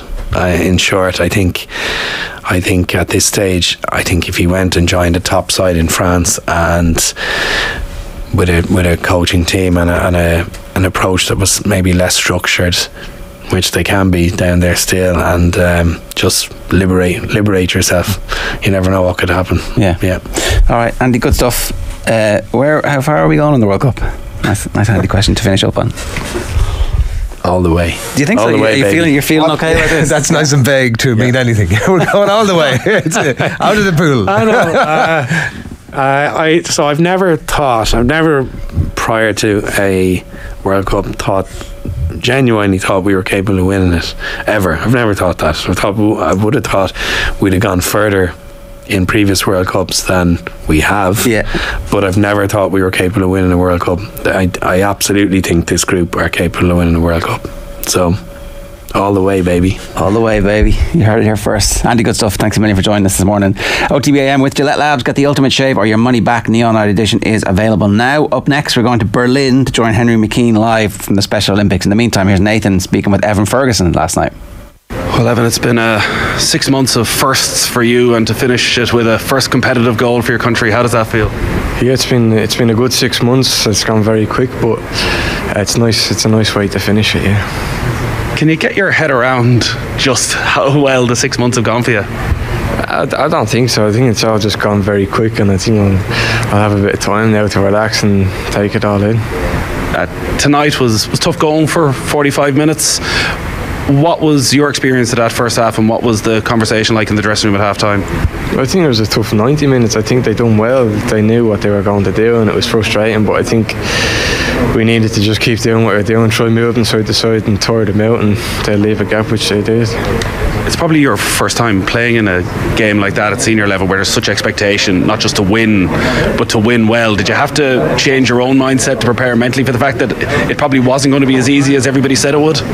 I don't think so. I don't. I wouldn't change it going into a game. I think we knew what we had to do going into the game, and obviously we know what the fans are saying, and you do hear it. Like, but we bounced back and we got the three points. That's uh, Evan Ferguson in conversation with Nathan. The rest of the conversation was about uh, going on holidays and uh, having the crack with his mates who are doing the leaving cert. So you can get that on our social channel. Subscribe on Twitter at Off the Ball or on Instagram also at Off the Ball. Now, it is day three of the Special Olympics World Games in Berlin. Team Ireland has 73 athletes competing in 12 sports out of 7,000 athletes from 190 countries. The opening ceremony took place in the 1936 Berlin Olympic Stadium with a dark history which has now turned to light.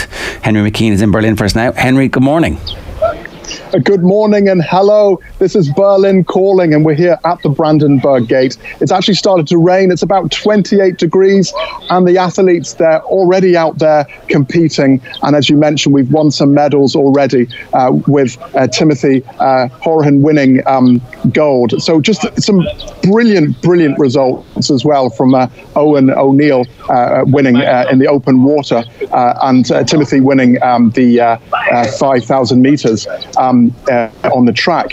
and such an amazing atmosphere. And I'm glad there you mentioned, Jay, you mentioned the, the Second World War because we're steeped in history. Where I'm standing right now, for example, just 78 years ago, uh, it was the end of the war. And you mentioned the 1936 Olympics, which obviously was uh, it was a Nazi Games, and for the uh, Special Olympics to come here, it's breaking down barriers. It's admitting, it's saying sorry. It's actually saying, look, we made mistakes, and now we're going to embrace people with learning difficulties. We are going to hug them. And there's been so many Special Olympics special moments. Uh, I had a chat with Maria Shriver, who is uh, Arnold Schwarzenegger's um, ex-wife, but also uh, Timothy Shriver's uh, brother, and her uncle was JFK. And just behind us, as we mentioned, uh, the Brandenburg Gates, and she talks about that, about breaking down barriers. So it's just been absolutely wonderful, and the fact that they've got through the pandemic. Here we are. The athletes are competing again, and tomorrow, believe it or not, Ger, is the 20th anniversary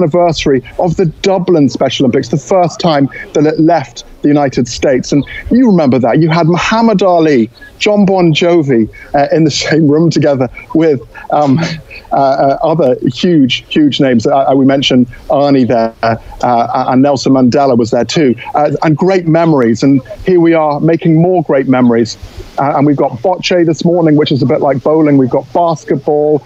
we've got gymnastics. There might be some medals in gymnastics. And 73 um, athletes from four corners of Ireland uh, another sport that's you know both sides of the border. So just wonderful, wonderful to be here. And believe it or not, Ger, this is my sixth games if you include uh, Dublin and then the uh, Athens uh, and then LA, Abu Dhabi, and also the Winter Games where I didn't get to meet Arnold Schwarzenegger in Austria. But no, I have to stop going on about Arnie. But yeah, just just absolutely um, fantastic here in Berlin.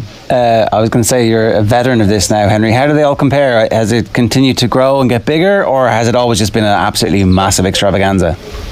Well, yeah. I mean, this is the largest inclusive games of the year. I mean, the, you know, there's 7,000 athletes competing. That's 7,000. Uh, and there's 22,000 volunteers. Ireland, you could say, what are we good at? We're good at volunteering. And there's loads of Irish volunteers everywhere you go helping out. Um, so it's growing, it's getting bigger. Uh, and also, uh, let's say, for example, you're from a, a, a, country that's developing or a very, very poor country, uh, there's a healthy athlete. So if you're having trouble seeing or trouble hearing, there's doctors on hand. So there's loads of goodness that comes out of this. And Ger, I know you've been involved in the Special Olympics also. You get this kind of tingly feeling uh, when something great happens. There's this joy. You could say that about any sport. I mean, you can feel this amazing joy. This is why we have so many sports fans out there, but even more so in the Special Olympics because a lot of these people with learning difficulties, they were shunted uh, like the Germans 78 years ago. They were pushed to the side, and now they are celebrated.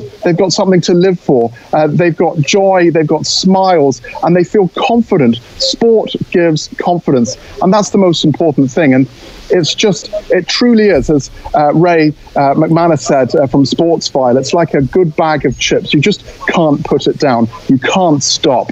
Uh, you know, lovely. Uh, it's, it's, it's pure, pure sport at its purest. All right, Henry, enjoy the rest of it. Uh, what else is to come today?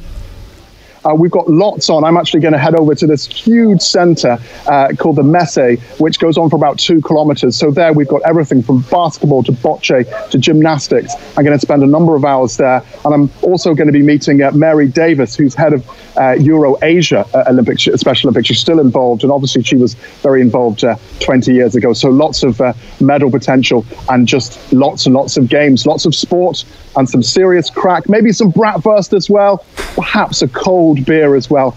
Can't beat a German lager. At 28 degrees, you probably deserve it, Henry. Good stuff. Thanks a million for joining us. Cheers.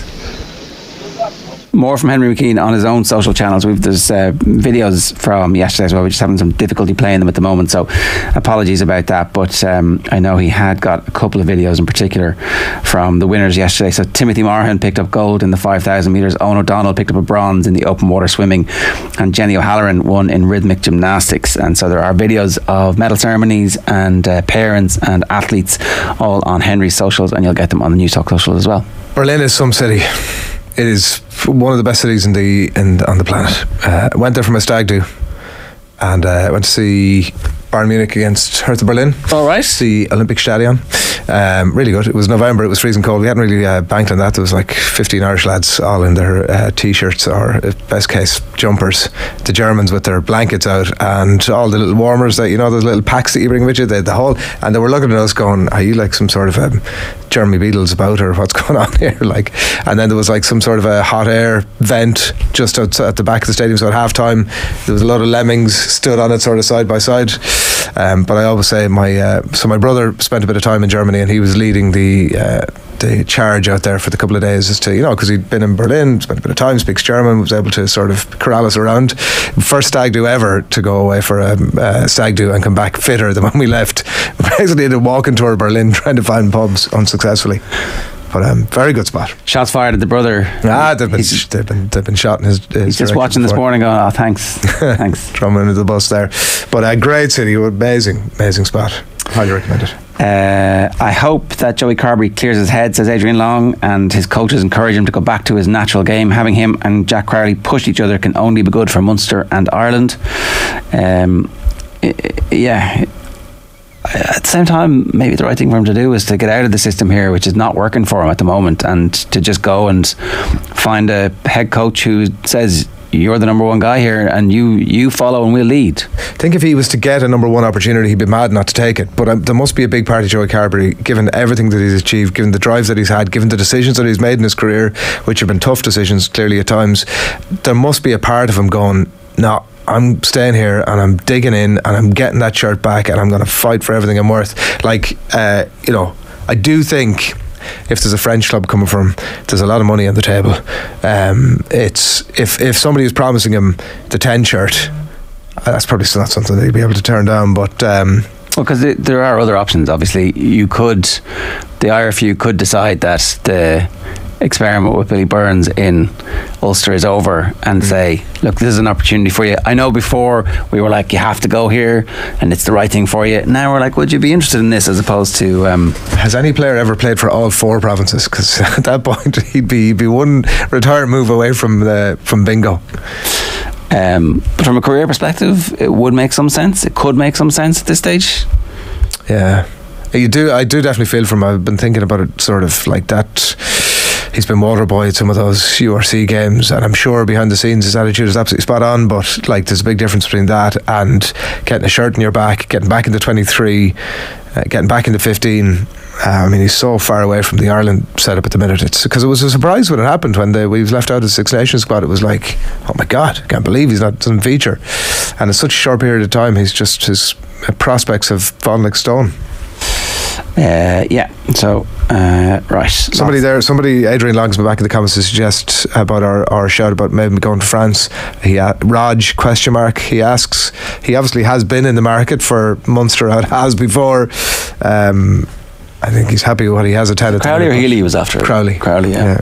Well, glad that didn't happen. Ultimately, he wouldn't be playing for us in the World Cup. Well, that was his. Would we make it? Would you? Would you?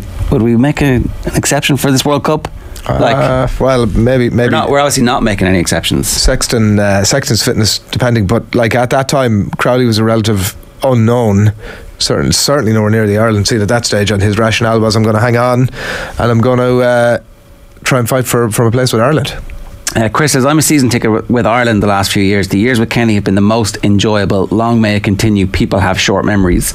Like, I mean, this is this is the thing, right? So I, I, I understand that it's not binary, that it's not uh, Stephen Kenny or Big Sam, but like uh, football is littered with people massively overreacting to um, things. All sports are are littered with massive overreactions to a, a period of what is perceived to be failure. Um,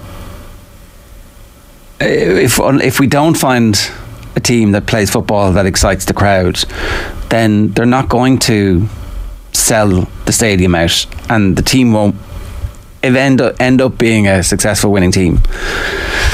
We'll, we'll turn away because that's what happened. Well, it is the people in the ground last night that will decide the fate of Stephen Kenny. Like ultimately, that's it. And there were boos at halftime. There's no getting away from it. It's I'm, I'm putting about a thirty percent figure on it. It was short, but it was very very um, audible at that time. And like I do think there, so that, so Vinny presents it that at halftime I'm seeing 15 minutes of Stephen Kenny fo- football and I'm wondering is his team playing his way and I'm wondering Gaffer why have we not done this before? And you can look at that as a positive that he's clocked that at halftime and changed it or there's a slight concern that at that level that you know he hasn't gone with that to begin with. And so there's that and there's marrying it with a bit more uh, I'm I have got certainly got to the point now where I'm open for more a more pragmatic approach, particularly given the tools we have at the other end of the pitch. And if that needs to be playing it playing it down at times and lumping it at times. we, we do we do we have been so like I think we could do, but I, certainly looking at it last night, there wasn't there wasn't but the lump, the there lumping wasn't enough gonna, lumping. Well, the lumping wasn't going to work last night.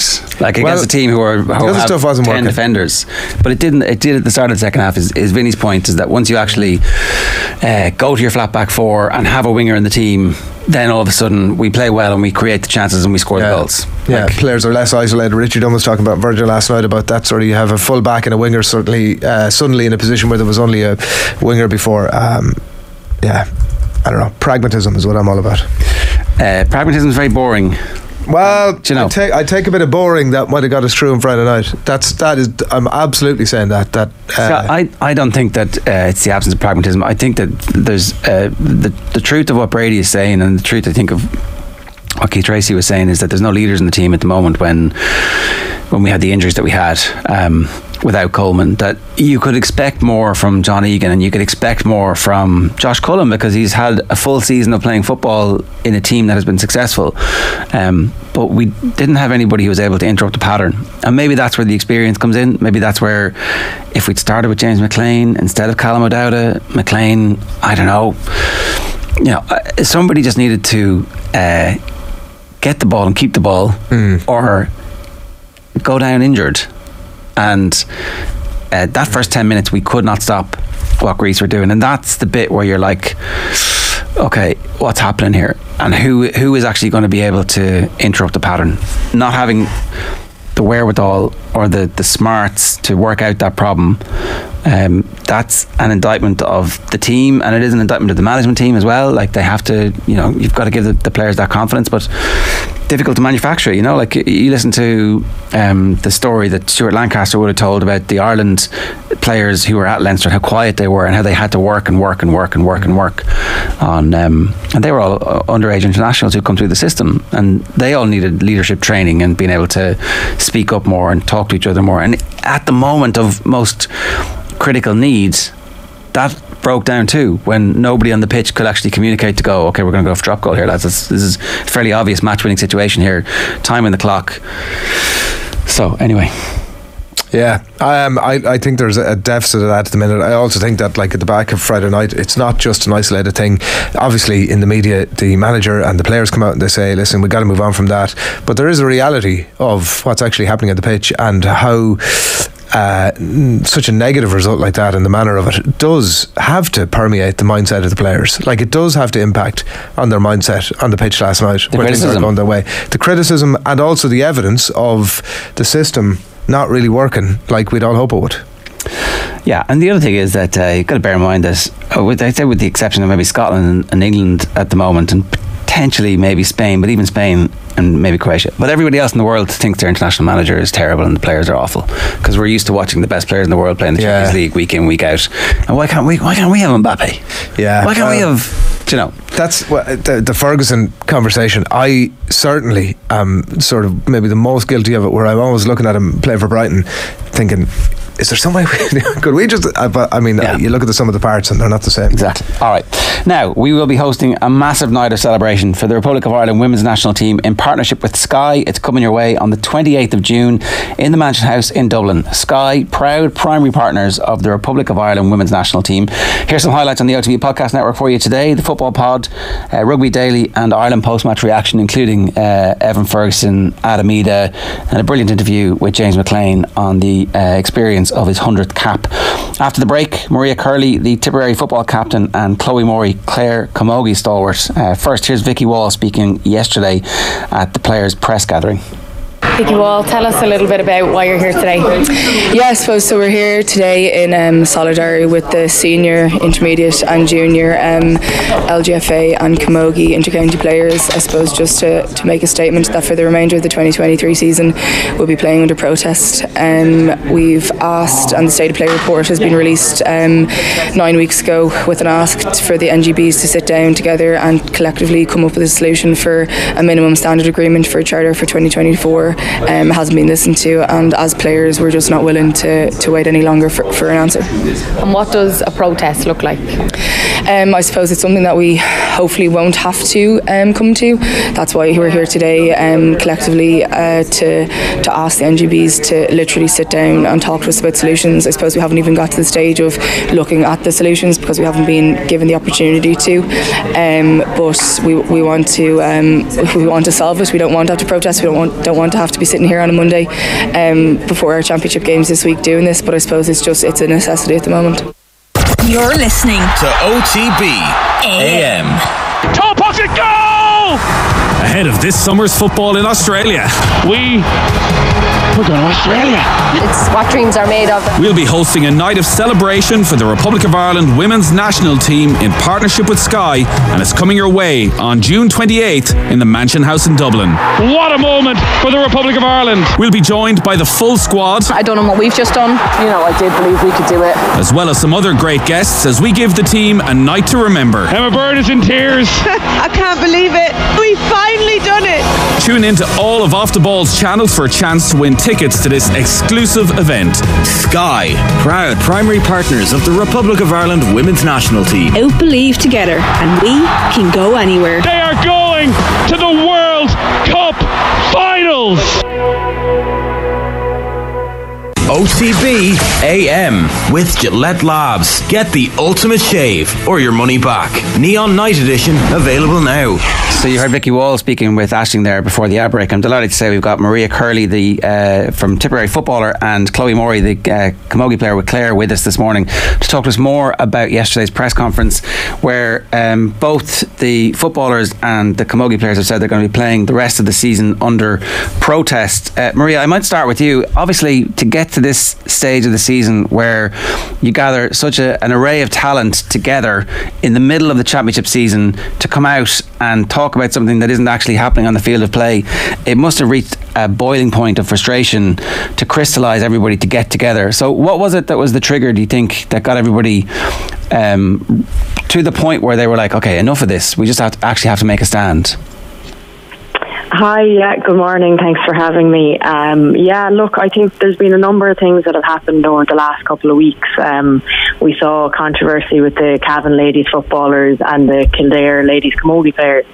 So I suppose they were two individual counties that were fighting battles themselves. And then I guess the fact that the state of play report was released by the GPA and presented to the NGBs, and the fact that nothing was really done off the back of that, and, and that we didn't really get any correspondence from ladies Gaelic, probably annoyed players and, and, and captains and different different squads as well. So I think it's been a combination of a, couple of things over the last couple of months, um, and we're at the point now where we're just sick of it, and, and, and we're sick of not being heard, and and I think that's why we, we all decided we needed to come together and do something as a as a unified group and, and not leave individual counties fight their own battles. You know. Yeah, because obviously by uh, pooling your powers, uh, it, it sharpens the mind of the governing bodies in particular. Chloe, will you just explain to anybody who's kind of come into this story and doesn't fully understand what the state of play report actually was? It, it kind of it's it's a real important staging post in this because it's the kind of start of the documentation of this process. Yeah, so basically the GPA, which is the Gaelic Players Association, essentially an organisation or union um, set up by players for players. And um, let's say the men's GPA has been around longer than the women's one, the WGPA, but we actually merged recently. Um, and so they've it's been excellent to be honest. Um, and it's probably on a side note, it's a really good like uh, if you were to look at an organisation that can work together, both men and women and where equality is across the board, the GPA is probably a very good uh, starting point to look at. But the state of play report then is essentially a survey or a report given out to both uh, the men's intercounty players and women's intercounty players to see where they're at in terms of what they're getting with their teams, basically everything in their life, how their life is faring as they play intercounty, as through their intercounty career essentially. So we're looking at med- uh, like their welfare in terms of uh, medical treatment, physio needs, SNC. Um, the cost of playing is a big part of the report, um, and there's huge discrepancies between, I suppose, the male or male counterpart, counterpart, sorry, and our female counterparts. And so, um, like Maria said, there's probably been two like big events in terms of the Cavan ladies footballers and Kildare Camogie players, but I think these things or these have been issues for a very long time. I think the government grants which have been noted have been a help, but I'd hate to see how things would be in 2023 if we didn't have those government grants. But I suppose another way to look at it is we do have those government grants, but we're, there's still stories, um, there's still anecdotes coming out about, I suppose, the state, as you say, the state of play in um, female intercounty careers at the moment. It's basically costing you money to play.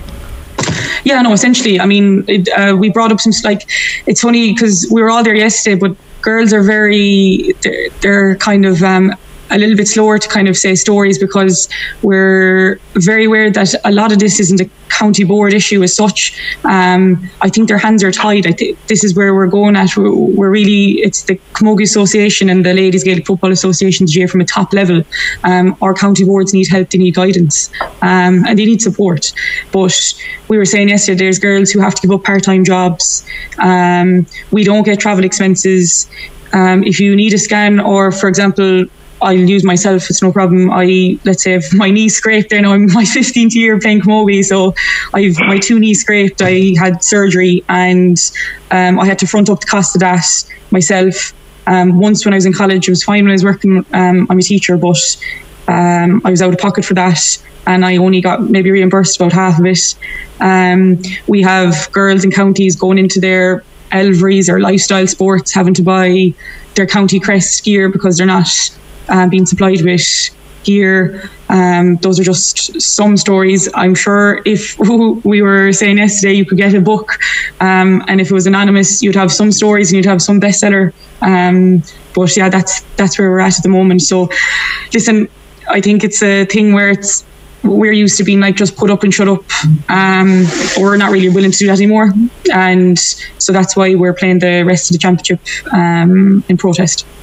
The points uh, Chloe about the, they need guidance and they need support and obviously your later point there is that they need money and we're in the uh, process of moving towards this integration. Is part of this about a sense that there's a lot of money swilling around there and this could be solved very easily and it doesn't need to wait for that integration yeah, look, I'll. I agree. I, my, my my opinion on it is essentially we've all voted for integration, and I've seen a lot of things on social media over the last while as well. Like we've all voted for social media. The member, or we've sorry, we've all voted for integration. Okay, and so in principle, we should now be acting as you know one organization and we understand that that process will take the formal process of you know setting up your boardroom your committees that'll take time we get that now we've been in the listening stage of it for maybe the past 18 months or so but we feel that this is a charter or this is a document that can be created where the three organizations come together it's a very achievable like uh, we would say it's a very achievable document, a, a, standard, a minimum standards charter uh, that can be agreed upon by the three. Um, like I think Tom was saying yesterday, Tom Parsons, he was saying that there's what 150 million profit in the GA, and it's not us just coming in to take it. But if we've all voted for integration, we now have to see ourselves as one big organisation instead of this thing. Well, well, your Camogie, your ladies Gaelic football sorts out yourselves we have voted, the membership has voted for integration. Yes, we have to wait for that formal process to happen. But I think this could be something potentially smaller for them, but would have a massive impact that could greatly help um, the intercounty careers of female athletes at the moment. Yeah, Maria, the um, there's, there's, a couple of different things that are happening simultaneously. So the integration is happening, but at the same time, it's official government policy about having uh, quotas uh, at board level in all of the NGBs, and there's a significant threat to the GAA's funding if they don't actually recruit and employ women on their committees in much greater numbers than they're at at the minute. And just recently, there's been some soundings drifting out through the GAA media that oh maybe maybe they should wait until after the integration happens to try and meet the quotas. I'm thinking absolutely not. I'm sorry, but if you can't fulfil the quotas, you're not trying. And there's loads of opportunities in in every GAA club in Ireland. Uh, the the women are key to making those GAA clubs successful. And clearly, there is an issue with allowing those women the opportunities to represent clubs at county board level and on committees. And it's up to the GAA to fix that instead of putting out the story, oh, maybe after integration it'll all be fine. Because it's almost like um, integration is some kind of silver bullet to the issues that the organisation has had when it has come to not treating the women's teams with equality, not giving them pitches, not making sure the showers were turned on. Those, those countless stories that we've just heard there from Chloe. So you've got a real opportunity in a window here to make sure that something actually happens from it. Having met everybody yesterday in person, what was your takeaway from just how resolute the group will be to make sure that something happens here? Yeah, look, I think we have a massive responsibility. Um, like we're not acting on ourselves, we're acting on behalf of our teams, but also on behalf of the girls that are coming after us. You know, um, I, would like to hope that just Tipperary ladies and every ladies football and camogie team will be successful, strong competitors in the future, and and that's going to be long after Chloe and I are finished up. Um, and if we don't start to do something now, how much longer is it going to take? Um, you know, we've all seen the research come out about integration, and we do know it's going to take time. But you know, we can't wait another five years before we started being treated right. We're losing players, you know, each year based on financial costs. It it costs money to play intercounty football in camogie for for your intercounty teams, which shouldn't be the case. You know, we heard examples yesterday from different counties of girls having to choose between picking a third level education or playing for their county. Like that is not on, and it's not good enough. If you're good enough to play intercounty football or camogie, you should be entitled to do so. And you know, if it's a financial thing that's stopping you for that, because of these associations that, bear in mind, have resources to sort this out, but just are choosing not to do so.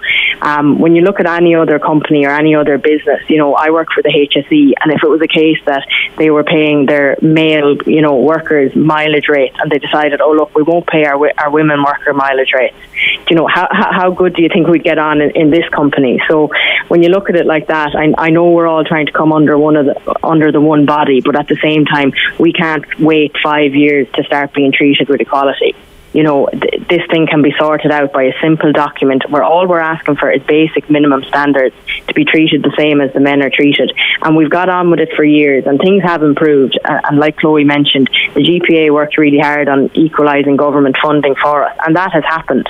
But at the same time, that's a very small figure with regards to what it actually takes to run an inter-county setup and the amount of money that each individual girl is putting into playing themselves. So central to this call isn't just about the LGFA and the Camogie Association. It's actually also the GAA, that central body, that Croke Park themselves to get involved and to intervene. And as Adrian was saying, to put their hands in their pockets to equalise this now. Yeah, absolutely. And look, we've never said that we could do it alone. Um, in order for this to happen, we need the support of everybody. We need to pool the three sets of resources, and we're completely aware of that. But like you said, you know, in, in terms of clubs, in terms of intercounty setups, in terms of companies, women are essential to that as well. Um, so I think providing support to us is, is just a basic minimum standard, to be honest. Chloe, uh, Tom Parsons, I know yesterday was talking about the passive strike. He was describing the, the protest as it is the minute he talked about uh, players opting out of squads in ones and twos and maybe a little bit more. Um, number one, is that your experience of it that you've seen over the years? Players just opt out because they can't take the financial hit. And number two, have you spoken as a group about what moves beyond the current, what's been called a protest, or as he calls it, passive strike? Um, so in regards to your first question, absolutely, like I'm in my 15th year now, Clare Camogie. Um, it's a miracle I've survived this long on it, but uh, uh, absolutely, there's girls who have unfortunately had to just move on from and go. I just can't do this anymore. I can't. Like we had people's parents having to bring them to training. Um, we've had, like I said, there's been girls, and this is not just like, or this is experiences we've heard over the last few days. Girls having to pay for their own surgeries, like girls having to choose in will I take a part time job or am I going to try, you know, play county? Um, you know, needing to use team doctor, uh, not able, don't having a clue about nutrition, so not having access to nutritionist, um, even playing gear, having to go off and try buy playing gear or ask one of the girls, can they um, now you'd have to be very good friends with her, she, but to ask can they have money for socks and escort or things like that. Um, hurleys, helmets, borrowing, begging, stealing sometimes. Um, so there's a like, and I suppose the cost of living crisis we're in now and stuff, and I think this is kind of um, exacerbating things as well. But uh, there's there's huge issues there that need to be dealt with, and we're all we're asking is that they come into that room and try sort a document like Maria said. We're not asking for anything massive. We understand the, the process of integration, but we just want them to listen to the issues that we've been explaining for not only weeks but years to come into a room and see can we all come up with a solution to this? That's all. And I suppose then with regards to the passive protest, um, there we had a obviously before the uh, media yesterday we had a small uh, meeting amongst ourselves. Um, Tom had mentioned that if we don't get positive movement with regards what we're asking for, um, the pro they'll I suppose survey the members to see what type of protest um, we're willing to engage in. Um, so that could mean um, anything quite from low impact or high impact, but we are hoping that we see some sort of positive movement towards um, a solution into creating a charter for t- the 2024 season. Given your uh, long career in the game, what would you be pushing for if it came to that? um, I don't know. Like I'm very, I suppose I'm very passionate about it, and I know people know me that way. Um, I don't know. I, I think we have to make a stand, and I'm, and oh, I don't know. Like you could, there's numerous things you could do. You could um, have T-shirts. You could have a media blackout you could have delayed start times of games. Um, I suppose that's what Gaelic Games is all about. It's about essentially the players, and I understand that the volunteers behind the scenes probably without them it wouldn't run. We're not. It's not an us versus them, and I think that's something that's betrayed often. But we want to be part of the solution, but the NGBs aren't willing to get into a room with us and sort this out. Um, why, why not? Why aren't they? What, what's what is slowing this down? I don't really understand what the problem is. yeah, your your guess is good as mine. Um, like. I, I, from a personal point of view, that would have been an issue for me uh, playing camogie. The lack of transparency into decisions.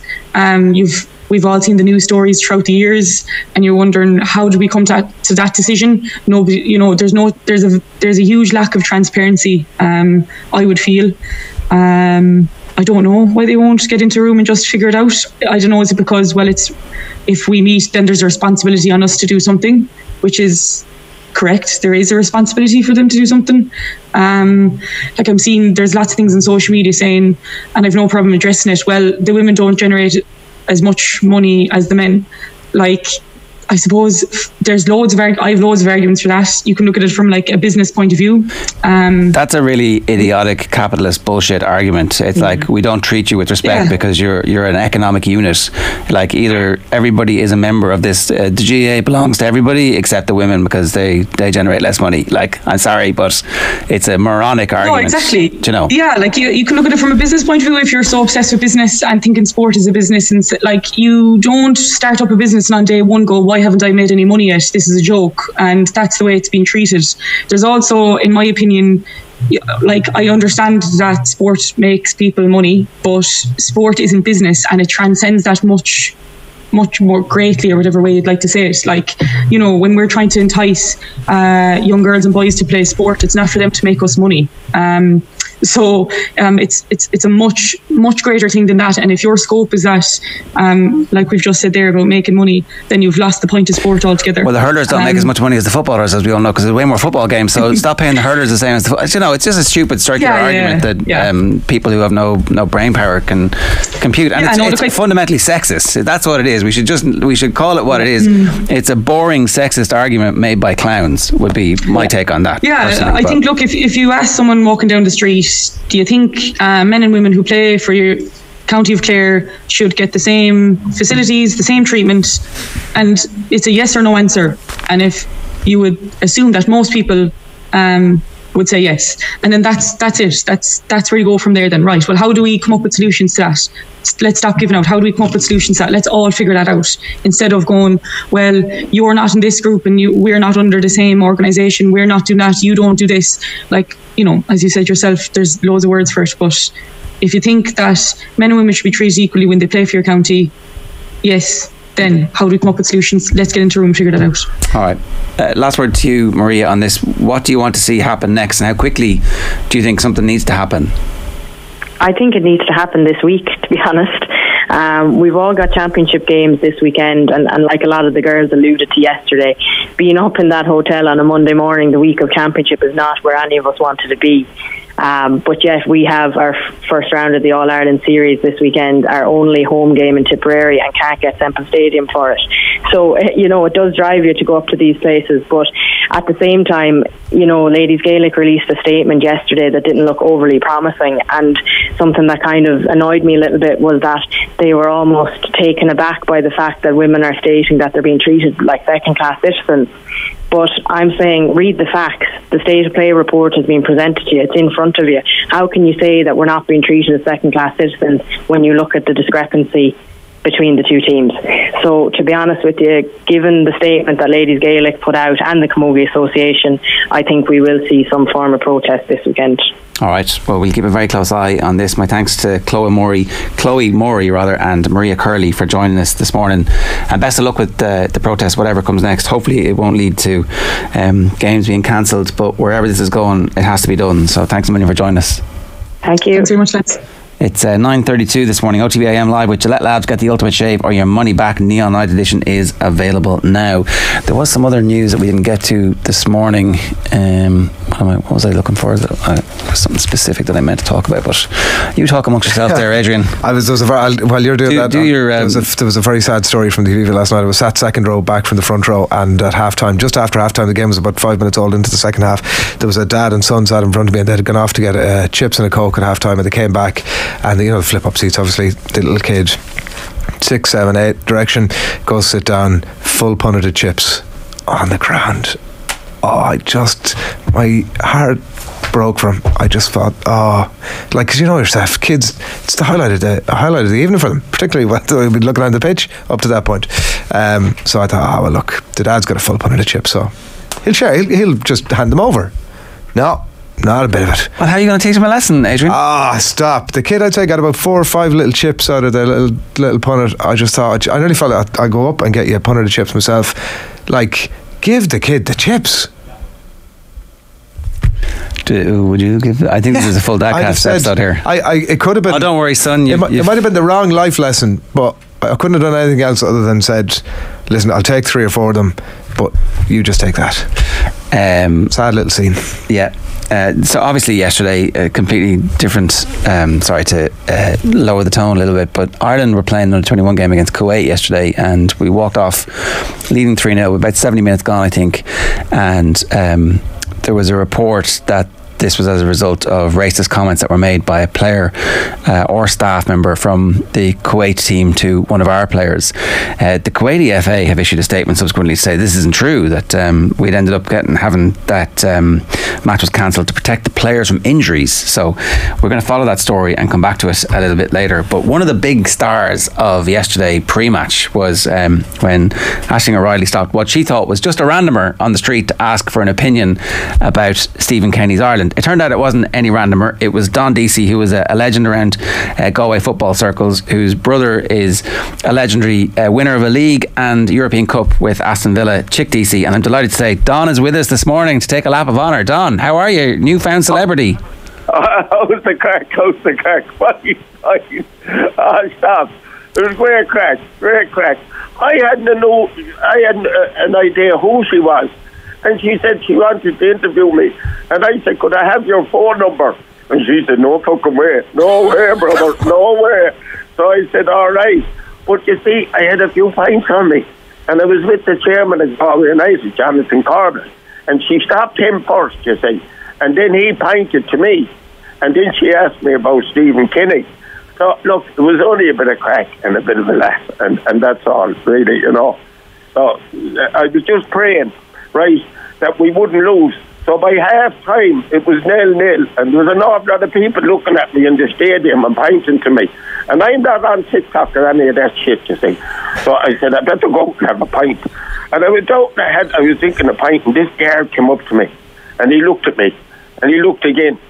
And I said, I haven't got the car with me, and I have insurance and tax. And it's not MCT, but it's MCT exactly. No, he said, you're very familiar. I said, hope you didn't see me on the wanted poster. I, I seen you on my phone, he said. I said, oh yeah. I've been bringing out a DVD for Christmas, so will you leave me alone and let me drink the comfort? wow! So it swept it uh, uh, by half time. People were coming up and stopping you, haven't seen I you. swear to God, yeah. And there was even this woman came up and she was uh, over from Birmingham in England, and she said, "Could I buy you a drink?" I said, "You can, of course, anytime you want." and I, I, I, she was an elderly woman, man, not fucking young herself, but I had a great old crack with her, you know. She said, "I've seen your thing. And uh, Jonathan's son w- was with us, a lovely, lovely young lad called Reign, and it was his birthday. And I said, Reign, what did you ask for your birthday? He said, I asked my dad, Dad, would you bring me to the Irish game? I will, says his dad, which is Jonathan Corbett. And he said, there's one other request will you bring John with us? and I thought it was the loveliest thing I heard. And he said to me, coming down in the car, John, he said, you met my day. Well, I said, Reign, I'm delighted that I made your day, and I don't care about fucking anyone else. There you go. That's the God truth. That's all. Uh, look, it was a great crack, and we had great bit of laugh and everything. And I was out swimming this morning out in Blackrock. You wouldn't believe it. And the amount of people passing in cars and blowing the horn and everything. And people that never spoke to me before would put, turn the other way were fucking coming over shaking my hand. I said, Mother of Jesus, fucking hasn't things changed now? Mother of God, and someone said to me, has, your wife seen that video? And my wife rang me in the meantime, and this the God's honest truth. And she said, Dad, what? How do I turn on the television? Don't mind the television. I'll be home shortly. So she hasn't seen it yet. He has not. Well, there you go. You could be in trouble, Dan. You could be in trouble. Oh, well, I'm in trouble all my life. I stopped. I was walking up town one day with her, and this fella stopped us. And my wife's a very quiet woman, you know, and she stopped us. And he said to her, Are you married to that lunatic? And my wife turned around and she said, I am, she said. But I'll tell you the truth, she said. He still makes me laugh, and especially in bed. I said to her, What do you mean by that? You're the best man I heard, I heard talking about sex. She said, But you're fucking useless at it. We're all getting cancelled this morning. Don, come here. What about Stephen Kenny's 3 0 win at the end? Oh, fucking great. I could have kissed him. I could have kissed him. Uh, I'd have shocked at the last. I wouldn't go out in the second half. I stayed in drinking the pints. Right, I heard the roar and I said, Oh, Jesus, thank God. Oh, stop. Dan, if the call comes in, for, if he if he asks you in to come in and give the team a bit of a G up, it sounds like you might be the right man for the job. You'd be up for it, would you? Ah, look, he's a good man and he's an honest man, and I think he is. A lot of people don't like him, but I fucking find him good. You know, and he's Irish. Not that I've been able to buy that now. Fair enough. but he's one of our own. Exactly. Yeah, fucking hell, you know, and the man is trying his best. I don't think he has the talent, but uh, sure. One of us. Look, it's a bit of crack anyway, Colin, you know, like, then that's, that's what it's all about. Fucking if we can have a laugh a day, wouldn't it be great? Yes, good stuff. Don, congratulations on your uh, celebrity status. It's well deserved. Thanks a million for joining us. Uh, Good morning to you. It's uh, Don Deacy there. Oh. Unique. Our bleep, our bleep button is, uh, is worn out out there. Yeah, sorry, it didn't work. It, it, it failed us. Uh, right, on tomorrow's show, Tommy Rooney's power rankings. Very, very uh, controversy, uh, con- controversial coming up tomorrow. Uh, Longford manager Paddy Christie reflects on their season. We've got hurling in the wake of the news that um, Limerick are going to be without their captain, certainly for the semi final, potentially for the final as well. The return of Brendan Rodgers to Celtic, plus plenty more besides. Right now, Stuey Byrne's post match reaction at the Aviva last night. Have a terrific Tuesday. Yeah, that was Evan Ferguson on the hour mark with Ireland's second. Mikey Johnston on 52 minutes opened the scoring. Adam Idah in the 92nd minute put a sheen on the scoreboard. We mentioned pre-game that Greece had beaten Gibraltar 3-0. The Netherlands had beaten Gibraltar 3-0. France had beaten them 3-0. and now Ireland have repeated the trick. Stuey Byrne was on commentary alongside Nathan. Game of two halves. Yeah. Thank God the second half was better. Yeah, um, and thank God we were able to spot the, the issues that we were having in that first half. Um, frustrating that we had to wait till half time to do that, um, but let's take the positive first. Acknowledge there was a big, big issue in the first half. Just couldn't break this, that Gibraltar team down. But you know, playing against what it was a very, very basic international team. Probably, I agree with you. Probably the poorest team I've ever seen come here. Um, I won't go into too much detail, but they were awful, to be quite honest. Um, so very frustrating that we couldn't in the first half kind of notice that and see that we were being a little bit too predictable, constantly going down the wings, just pulling back uh, predictable crosses into areas where there was any, anything from five, six white shorts just constantly blocking it. Um, you don't mind trying that early on, but when it just becomes monotonous and predictable, you, need to change something, like you know. So as the, the first half went on, it got very frustrating. Um, and I thought um, that dynamic in the first half was also frustrating because there were four, sometimes five, sometimes even six Irish players in the box, which on the face of it is um, attacking and, and, and, and you know uh, trying to uh, do the right thing. But they seemed to arrive so early that they were all just stationary in the box. Just Nobody standing. was arriving late or timing a run. There was a degree of, look at us, we're all in the box, and you guys have loads of space in the two flanks. We'll just wait for you to cross it in. Yeah. So not many players were attacking the ball, and it was just a very stagnant. That, that comes from result. the fact when you're constantly just rotating the ball left central, right, central, left. Players just park themselves in the middle, yeah. and even the attacking Irish players are parked in there in the middle. Ultimately, you want to be able to come onto the ball as you break, get in behind, get in behind the defence. So what you got, what you got to do in those situations, you got to, you got to have players in your team that can get on it centrally and probe balls centrally. We spoke about at half time, um, and we, you know we we, we, we, spoke about Wes Hoolahan, the likes of a Jack Byrne or whatever the case may be try and bang it into Evan Ferguson, bang it in, into Obafemi, and draw those players that are static, the defenders, draw them out of their position. You know, and it, it it's not what they're expecting, and you know, everything else is predictable.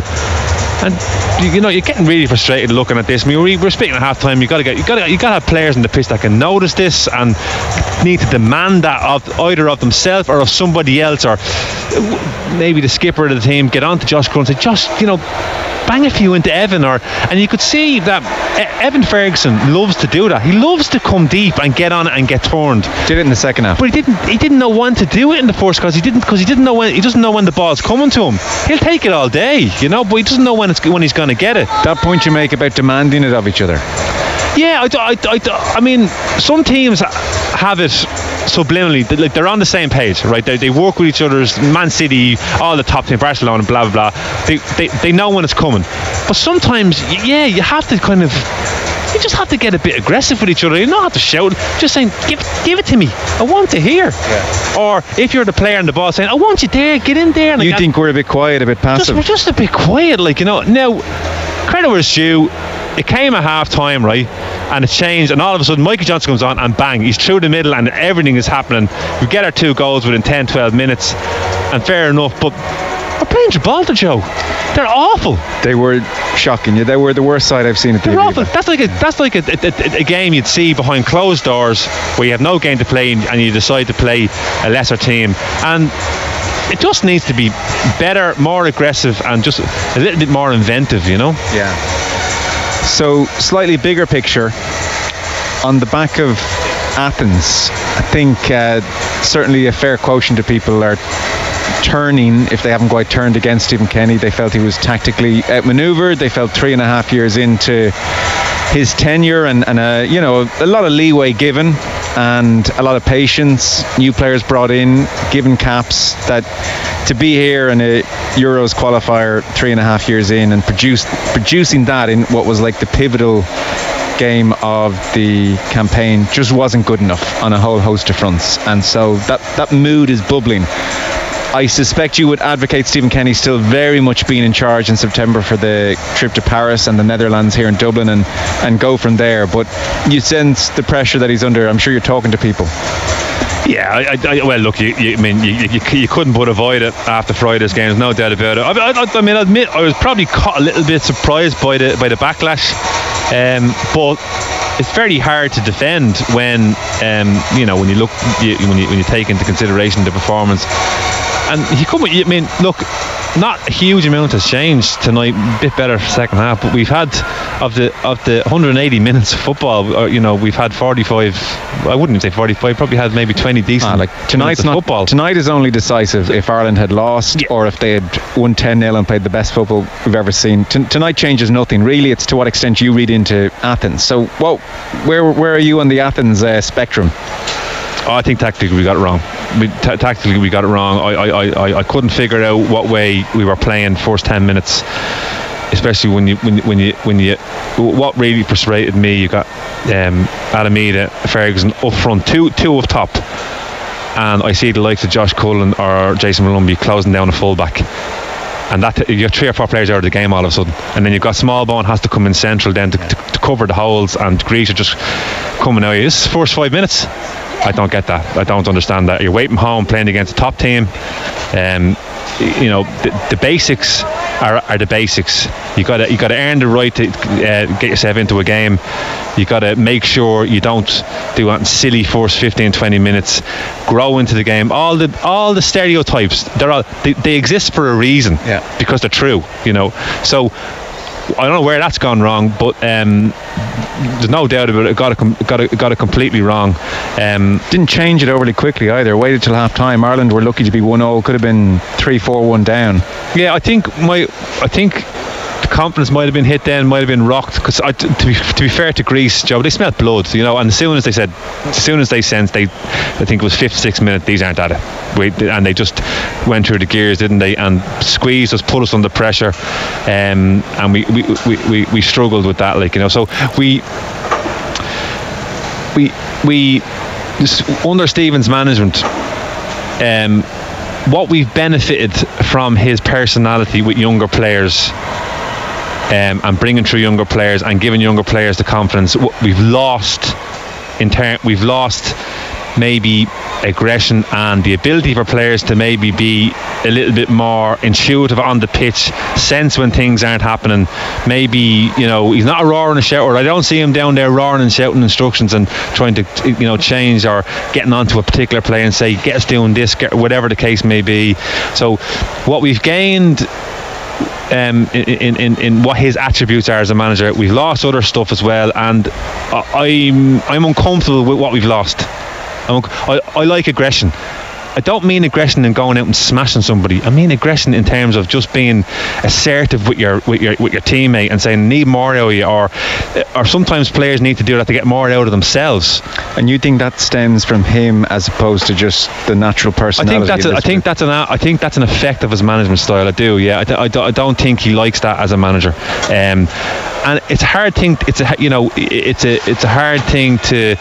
Uh, uh, you know, obviously it, it's it's nearly gone out of our game now, but you need a bit of that. So you know, I'm sensing you think we're a little bit too nice to play against. We're too, we've been we've been little, we're too nice to each other. We're too nice to each other. I mean, even even the goal, even the silly goals we've conceded in some of the various games here, it's, it's you know you don't see any reaction from the players going. Maybe Seamus Coleman, you yeah. you you see it from Seamus, yeah, Seamus, and, and you know James McLean, you would have seen it from maybe, but that's it's going out of the game, and I keep hearing this. Oh, it's different. It's di-. It's not different.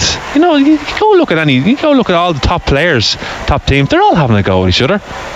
Well, you know, they're, they're, they're, it's not meant to be hurtful, or it's just it's meant to.